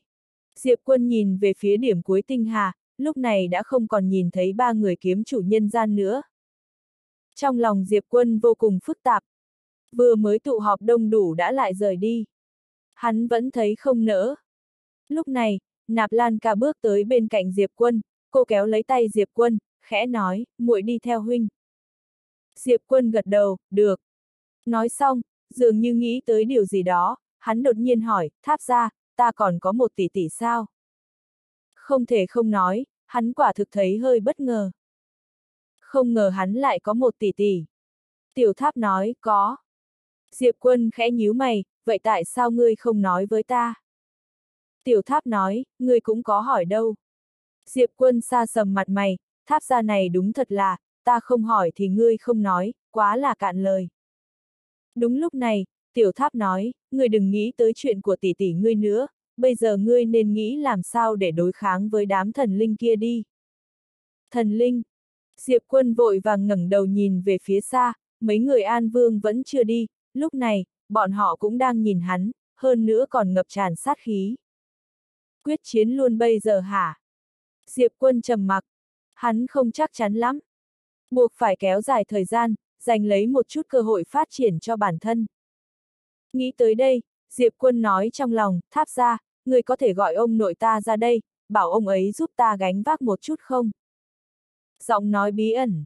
Tiểu tháp trầm mặc một lúc, sau đó nói, người đừng nghĩ tới ông nội ngươi nữa. Diệp Quân không hiểu, tại sao? Tiểu tháp nói, ông nội ngươi còn sống phóng túng hơn cả cha ngươi. Diệp quân trầm mặc. Xong rồi. Hoàn toàn tiêu rồi. Chỉ có thể dựa vào bản thân thôi. Diệp quân quay người nhìn về phía mấy người sau lưng, lúc này, tất cả mọi người cũng đang nhìn hắn. Kiếm chủ nhân gian không ở đây, bây giờ Diệp quân chính là người đang tin cậy nhất của vũ trụ quan huyên. Bọn họ hiểu rõ ý của kiếm chủ nhân gian, sau này vũ trụ quan huyên chỉ có thể tự dựa vào bản thân. Đương nhiên, không phải ông ấy thật sự không quan tâm tới tất cả mọi thứ.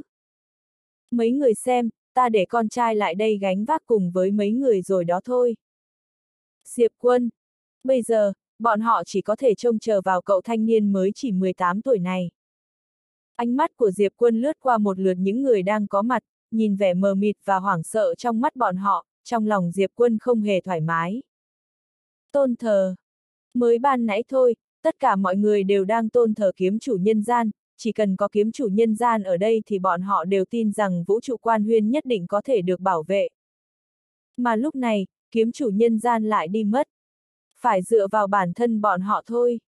Thế nhưng, thần linh mạnh tới như vậy. Trong phút chốc, tất cả mọi người của vũ trụ quan huyên đều trở nên mù mịt. Diệp quân đột nhiên khẽ cười, đừng sợ, ta.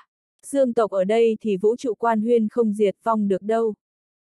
Dương tộc, một mình mình bây giờ hình như không ổn lắm, vẫn nên dẫn theo cả dương tộc thì hơn. Được. Diệp quân vừa dứt lời, chân trời phía xa, thời không đột nhiên nứt toác, mấy người An Nam Tịnh và Kỳ Tỷ Thiên chậm rãi bước ra. Nhìn thấy mấy người An Nam Tịnh, Diệp quân lập tức thở phào nhẹ nhõm, có những tiền bối này tương trợ cho, hắn sẽ không còn yếu ớt nữa. Không phải vấn đề sợ hay không, chủ yếu là thật sự đánh không lại. Với thực lực của hắn bây giờ mà đối kháng với chân vũ trụ ư. Lấy đầu đi đánh hả? An Nam Tịnh nhìn Diệp Quân, Dương tộc bọn ta giúp cậu cùng chấn thủ vũ trụ này. Dương tộc. Nếu Diệp Quân đã xem bản thân là người của Dương tộc thì Dương tộc đương nhiên cũng sẽ coi hắn như là người của mình. Còn về Diệp Huyên thì không phải bọn họ không giúp đỡ. Diệp Huyên có thiên mệnh ở đó, căn bản không cần tới bọn họ, mà bọn họ cũng không muốn gặp thiên mệnh.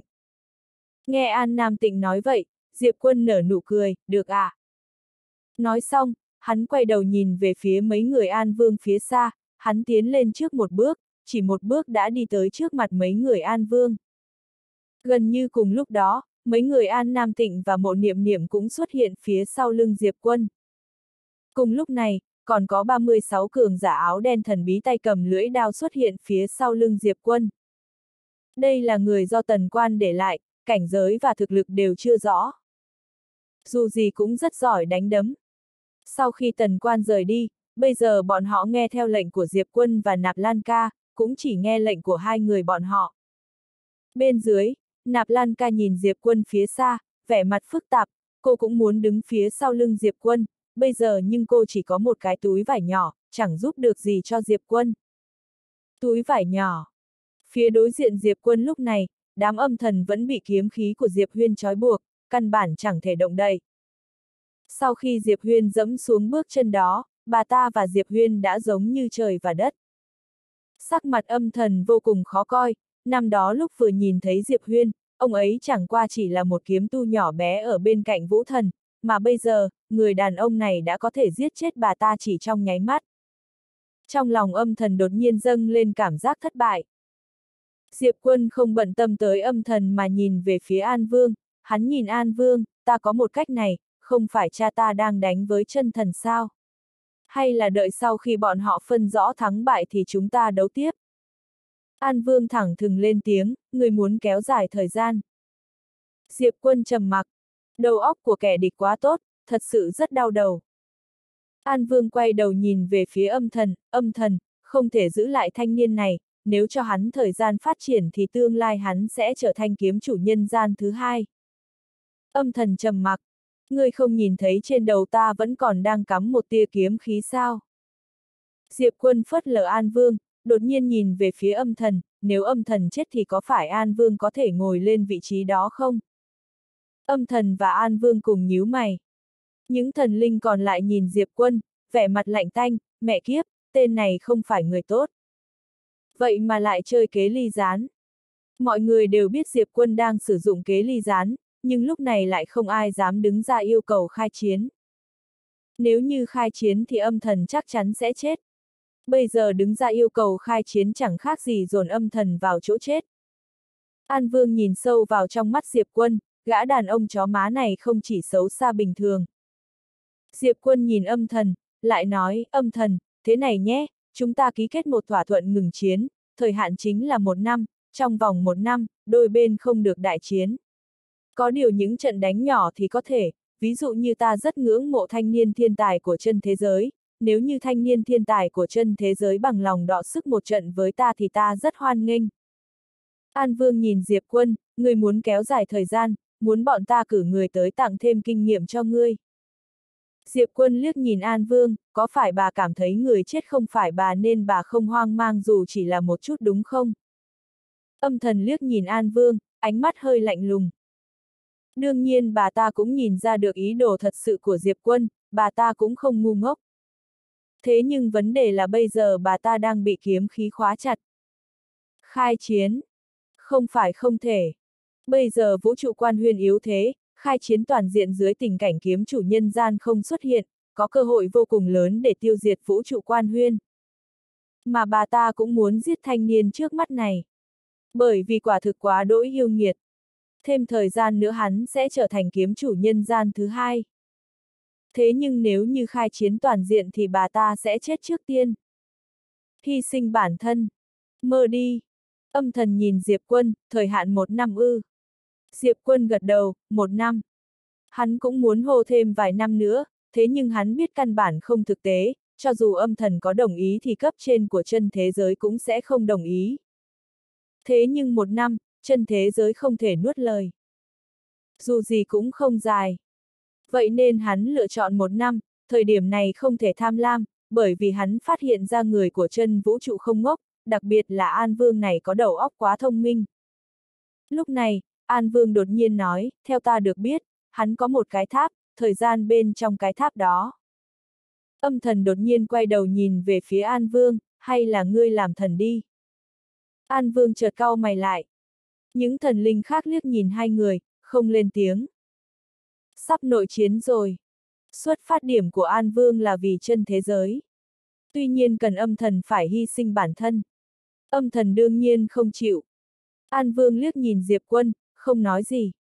Không phải bà ta không hiểu chuyện mà là bà ta biết nếu như hôm nay đồng ý với Diệp Quân, Diệp Quân của một năm sau chắc chắn sẽ có khác biệt rất lớn so với Diệp Quân của bây giờ. Cậu thanh niên này từ lúc bắt đầu tu kiếm cho tới bây giờ mới được bao lâu? Mà hắn đã là đại kiếm đế rồi. Nếu để tên này tiến vào bên trong tiểu tháp tu luyện, một năm bằng 10 năm, Diệp quân của 10 năm sau chắc chắn sẽ vô cùng khủng bố, không thể nói là vô địch, nhưng chắc chắn cũng rất rất mạnh. Dù gì bây giờ cả vũ trụ quan huyên đều đang ở trong tay Diệp quân. Hắn sở hữu tất cả tài nguyên. Vậy nên cho dù đắc tội với âm thần, nhưng bà ta vẫn phải nói. Đương nhiên bây giờ không thể nói nữa rồi, còn nói nữa thì sẽ trở thành thái quá. Dù gì bà ta cũng đạt được mục đích rồi. Diệp quân đột nhiên nói, An Vương, thật ra ta rất khâm phục bà. An Vương nhìn về phía Diệp quân, Diệp quân mỉm cười, không nói gì hết. An Vương ngu sao? Không. An Vương là người thông minh nhất. Một số thần linh thông minh đang có mặt liếc nhìn An Vương, vẻ mặt phức tạp. Bọn chúng biết An Vương chịu đắc tội với âm thần cũng phải nói là bởi vì bà ta biết sau một năm nữa Diệp Quân chắc chắn sẽ hoàn toàn thay đổi. Một khi Diệp Quân trở thành mối họa, tới lúc đó tất cả mọi người đều sẽ nhớ tới câu nói của An Vương ngày hôm nay. Lúc đó, âm thần chắc chắn tiêu đời. Âm thần tiêu đời thì ai lên thay? Khả năng cao là An Vương. An Vương nhìn Diệp Quân, mỉm cười, không nói gì cả, bà ta biết cậu thanh niên trước mắt đã nhìn ra ý đồ của bà ta. Ngươi biết ý đồ của ta. Ta hiểu trái tim của ngươi. Mặc dù là kẻ địch, thế nhưng khoảnh khắc này hai người lại giống như chi kỷ. Diệp quân đương nhiên sẽ không vạch trần ý đồ của An Vương, mà An Vương cũng sẽ không thật sự muốn giết Diệp quân vào thời điểm này. Đương nhiên, nếu như có lựa chọn bà ta sẽ làm như thế, vậy nhưng nếu lúc này bà ta tiếp tục làm thế thì sẽ chỉ chuốc họa vào thân. Dù gì âm thần vẫn chưa chết. Cùng lúc này, âm thần đột nhiên nói, ta đại diện cho chân vũ trụ đồng ý điều kiện của ngươi với thời hạn một năm, trong vòng một năm, chân vũ trụ của bọn ta và vũ trụ quan huyên không được xâm phạm lẫn nhau. Có điều trong thời hạn này, thiên tài và yêu nghiệt của chân vũ trụ bọn ta có thể tới khiêu chiến với ngươi. Diệp quân gật đầu, được. Âm thần nhìn Diệp quân, không lên tiếng. Diệp quân nhìn về phía tia kiếm quang giữa chán âm thần, hắn mở lòng bàn tay ra, tới đây. Vừa dứt lời, tia kiếm quang giữa ấn đường âm thần đột nhiên bay vào trong lòng bàn tay hắn. Diệp quân nhìn kiếm quang trong tay, đang định thu lại thì tia kiếm quang đó lại đột nhiên dần dần tan biến. Nhân gian kiếm ý. Thế gian này sẽ không còn sự tồn tại của nhân gian kiếm ý nữa. Thời đại của kiếm chủ nhân gian thật sự qua rồi. Diệp quân từ từ nhắm hai mắt lại. Hắn biết thời đại của hắn đã tới. Không phải hắn muốn tới mà là không còn cách nào khác. Người cha này phủi tay thẳng thừng thì bản thân hắn có thể làm gì được đây? Nuốt nước mắt kế thừa gia sản triệu tỷ. Diệp quân hít sâu vào một hơi, hắn biết việc hắn có thể làm lúc này là nỗ lực tu luyện. Thời gian một năm. Một năm đấy. Thời gian gấp gáp. Lúc này, âm thần liếc nhìn Diệp quân, sau đó nói, người không sợ ta nuốt lời sao. Diệp quân bật cười, sau đó nói, ta nỗ lực tu luyện là để chơi cùng với các người, nhưng nếu các người không màng tới võ đức, không giữ lời hứa thì ta cũng chỉ đành chịu thôi. Các người chơi cùng ông nội và cô cô của ta đi. Âm thần liếc nhìn Diệp quân, không cần dọa bọn ta, chân vũ trụ bọn ta nói lời giữ lời, một năm thì một năm. Ta còn phải nhìn xem trong thời hạn một năm ngươi có thể lên trời được sao. Nói xong, bà ta dẫn đám thần linh rời đi. Trên kim quang đại đạo, sắc mặt âm thần lạnh tanh, truyền lệnh, bất cứ kẻ nào giết được Diệp quân sẽ được thưởng 100 triệu viên linh nguyên. 100 triệu viên linh nguyên. Nghe thấy lời này của âm thần, đám thần linh đang có mặt đều vô cùng kinh ngạc. 100 triệu viên linh nguyên. Phải biết rằng cho dù là những kẻ làm chủ giống như bọn họ, một năm bổng lộc cũng chỉ có một triệu viên linh nguyên mà thôi, mà nhiêu đó chỉ đủ dùng cho việc tu luyện của bản thân.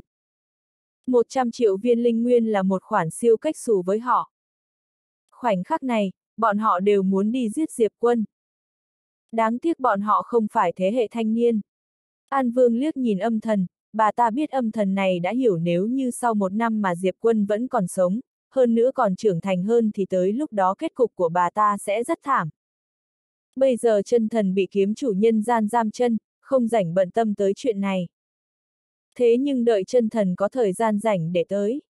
Ngoài ra, bên dưới chân thần còn có một chân thần điện, chân thần điện này tương đương với nội các của vũ trụ quan huyên, lúc chân thần không có mặt thì chân thần điện phụ trách cai quản cả chân vũ trụ. Mà âm thần chính là một trưởng lão trong số đó, lần này bà ta dẫn quân tới giết diệp quân chính là làm theo mệnh lệnh của chân thần điện. Bây giờ chân thần điện này chắc chắn sẽ không tới gây chuyện với âm thần. Dù gì bà ta cũng là một thần linh cấp cao của chân vũ trụ, vẫn có chút mặt mũi. Thế nhưng một năm sau, nếu như Diệp quân trưởng thành hơn, tạo ra uy hiếp đối với chân vũ trụ thì tới lúc đó cần có người đứng ra gánh hỏa. Ai gánh? Chắc chắn là âm thần. Bà ta cũng đã nhìn thấy điểm này, vậy nên mới treo thưởng cao như vậy. 100 triệu viên linh nguyên. Vô số thiên tài trong chân vũ trụ sẽ trở nên điên cuồng, không chỉ chân vũ trụ, thậm chí một số thiên tài đỉnh cao bên dưới chân vũ trụ cũng sẽ điên cuồng. Nói một cách đơn giản, thiên tài của toàn vũ trụ đều sẽ điên cuồng. 100 triệu viên linh nguyên, mê hoặc quá lớn. Bà ta sẽ cho cho Diệp quân thời gian tu luyện. Những chuyện kiểu như để cho kẻ địch không ngừng phát triển, chân vũ trụ sẽ không làm. Vũ trụ quan huyên tuyệt đối không thể có thêm một kiếm chủ nhân gian thứ hai. Chẳng mấy chốc, âm thần dẫn theo một đám cường giả thần linh biến mất bên trong đường hầm thời không. Lúc tiến vào trong đường hầm thời không, An Vương quay đầu liếc nhìn Diệp Quân. Diệp Quân đứng tại chỗ trầm mặc không nói gì. Những lời của âm thần ban nãy không hề cố ý che giấu, vậy nên hắn cũng nghe thấy rồi. Mấy người An Nam Tịnh bên cạnh hắn cũng nghe rõ mồn một. 100 triệu linh nguyên. Diệp Quân nghĩ ngợi, sau đó thầm hỏi trong lòng, tháp ra, 100 triệu linh nguyên là bao nhiêu tiền? Tiểu tháp nói, nếu đổi thành tiên tinh thì tương đương với hàng nghìn tỷ tiên tinh. Diệp quân trầm mặc. Hắn biết chân vũ trụ không muốn cho hắn thời gian phát triển, Đúng vào lúc này, Diệp Khải đột nhiên xuất hiện bên cạnh Diệp Quân, y nhìn Diệp Quân, cười nói, Diệp Quân huynh, huynh tu luyện đi, để ta đối phó với đám thiên tài yêu nghiệt của chân vũ trụ. Còn ta nữa. Lúc này, Tào Bạch bên cạnh cũng bước ra. Còn cả ta. Ngao Thiên Thiên cũng bước ra. Ta cũng có thể. Nam Lăng nhất nhất cũng bước ra. Tịch Huyền cũng bước ra, thế nhưng cô ấy không nói gì. Ta cũng có thể. Lúc này, Diệp Quan chỉ cũng bước tới, cô ấy nhìn Diệp Quân mỉm cười. Cùng lúc này, rất nhiều thiên tài của kiếm tông và thư viện quan huyên cũng đồng loạt bước ra, trong số đó có rất nhiều người Diệp Quân quen thuộc, Trần Cung Kiếm Đế và Tần Tuyết, Phạm Thanh đệ tử của mộ thiên đạo, cũng chính là người đã tặng cho Diệp Quân tàu vũ trụ khi trước, Chủ tịch học sinh Mục UU ở Thanh Châu, Cổ Thái Tử, Nguyệt Trần. Gần chục nghìn người nhìn Diệp Quân, đồng thanh nói, ngươi tu luyện đi, để bọn ta đối phó với chúng. Mai danh ẩn tích, ngươi tu luyện đi, để bọn ta đối phó với chúng. Tất cả mọi người đều nhìn Diệp Quân. Bọn họ biết, sẽ không bao lâu nữa, thiên tài đỉnh cấp của chân vũ trụ sẽ đến vũ trụ quan huyên tìm Diệp Quân, mà bây giờ, thứ Diệp Quân thiếu nhất chính là thời gian. Bọn họ bằng lòng tranh thủ chút thời gian cho Diệp Quân. Diệp Quân nhìn mọi người trước mặt, im lặng không nói gì. Giờ khắc này hắn thấy vô cùng nhiệt huyết. Đúng lúc này, An Nam Tịnh đột nhiên nói, đi đến chư thần vực. Diệp Quân nhìn về phía An Nam Tịnh, chư thần vực ư. An Nam Tịnh gật đầu, năm đó các linh hồn vũ trụ đã sáng tạo ra một thế giới đặc biệt để chống lại chân thần, chính là chư thần vực, ở nơi đó, có một nơi tu luyện đặc biệt tên là núi bất khuất, tu phàm kiếm, luyện xương cốt bất khuất, phá vỡ huyết mạch phong ma, rèn ý chí bất diệt. Hai mắt Diệp Quân híp lại, phàm kiếm, cốt bất khuất, ý chí bất diệt. An Nam Tịnh khẽ gật đầu, sau đại kiếm đế, còn có một cảnh giới kiếm tu nữa, chính là phàm kiếm. Diệp Quân đột nhiên hỏi, nếu đặt ta ở thế hệ trẻ ở chân vũ trụ thì thuộc cấp bậc nào? An Nam Tịnh nhìn chằm chằm Diệp Quân, dưới mức trung bình. Hai mắt Diệp Quân híp lại, dưới mức trung bình ư. Vẻ mặt của mọi người cũng đầy kinh hãi. Bây giờ trong lớp thế hệ trẻ của vũ trụ quan huyên, chắc chắn Diệp Quân là người đứng đầu. Người đứng đầu thế hệ trẻ vũ trụ quan huyên cũng chỉ ở dưới mức trung bình ở chân vũ trụ thôi sao? An Nam Tịnh đột nhiên nói, biết An Vương kia không? Diệp Quân gật đầu. An Nam Tịnh bình tĩnh nói, người đó chỉ mới 20 tuổi. Diệp Quân nắm chặt hai tay. 20 tuổi đã phong vương. Không thể không nói, giờ phút này, Diệp Quân thực sự kinh sợ. Hắn không ngờ, An Vương đáng sợ kia còn chưa tới 20 tuổi. An Nam Tịnh lại nói, mà An Vương cũng không phải là thiên tài yêu nghiệt nhất ở chân vũ trụ. Sau khi chân thần thôn tính vô số vũ trụ, cũng không một mình chiếm hết tất cả tài nguyên, mà ngược lại còn tặng tài nguyên miễn phí cho chúng sinh trong chân vũ trụ, bà ta cướp đoạt tài nguyên của toàn vũ trụ để tăng cường sức mạnh cho bản thân và tất cả sinh linh trong chân vũ trụ.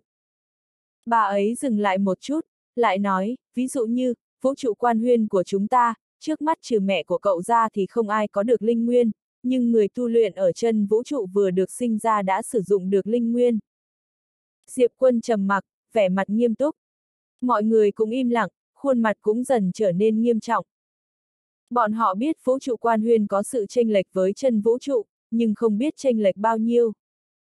Dù sao cũng đã từng có kiếm chủ nhân gian đứng đầu đối chọi. Nhưng lúc này, sau khi nghe An Nam Tịnh nói vậy, bọn họ mới ý thức được sự tranh lệch của vũ trụ quan huyên và chân vũ trụ lớn tới mức nào.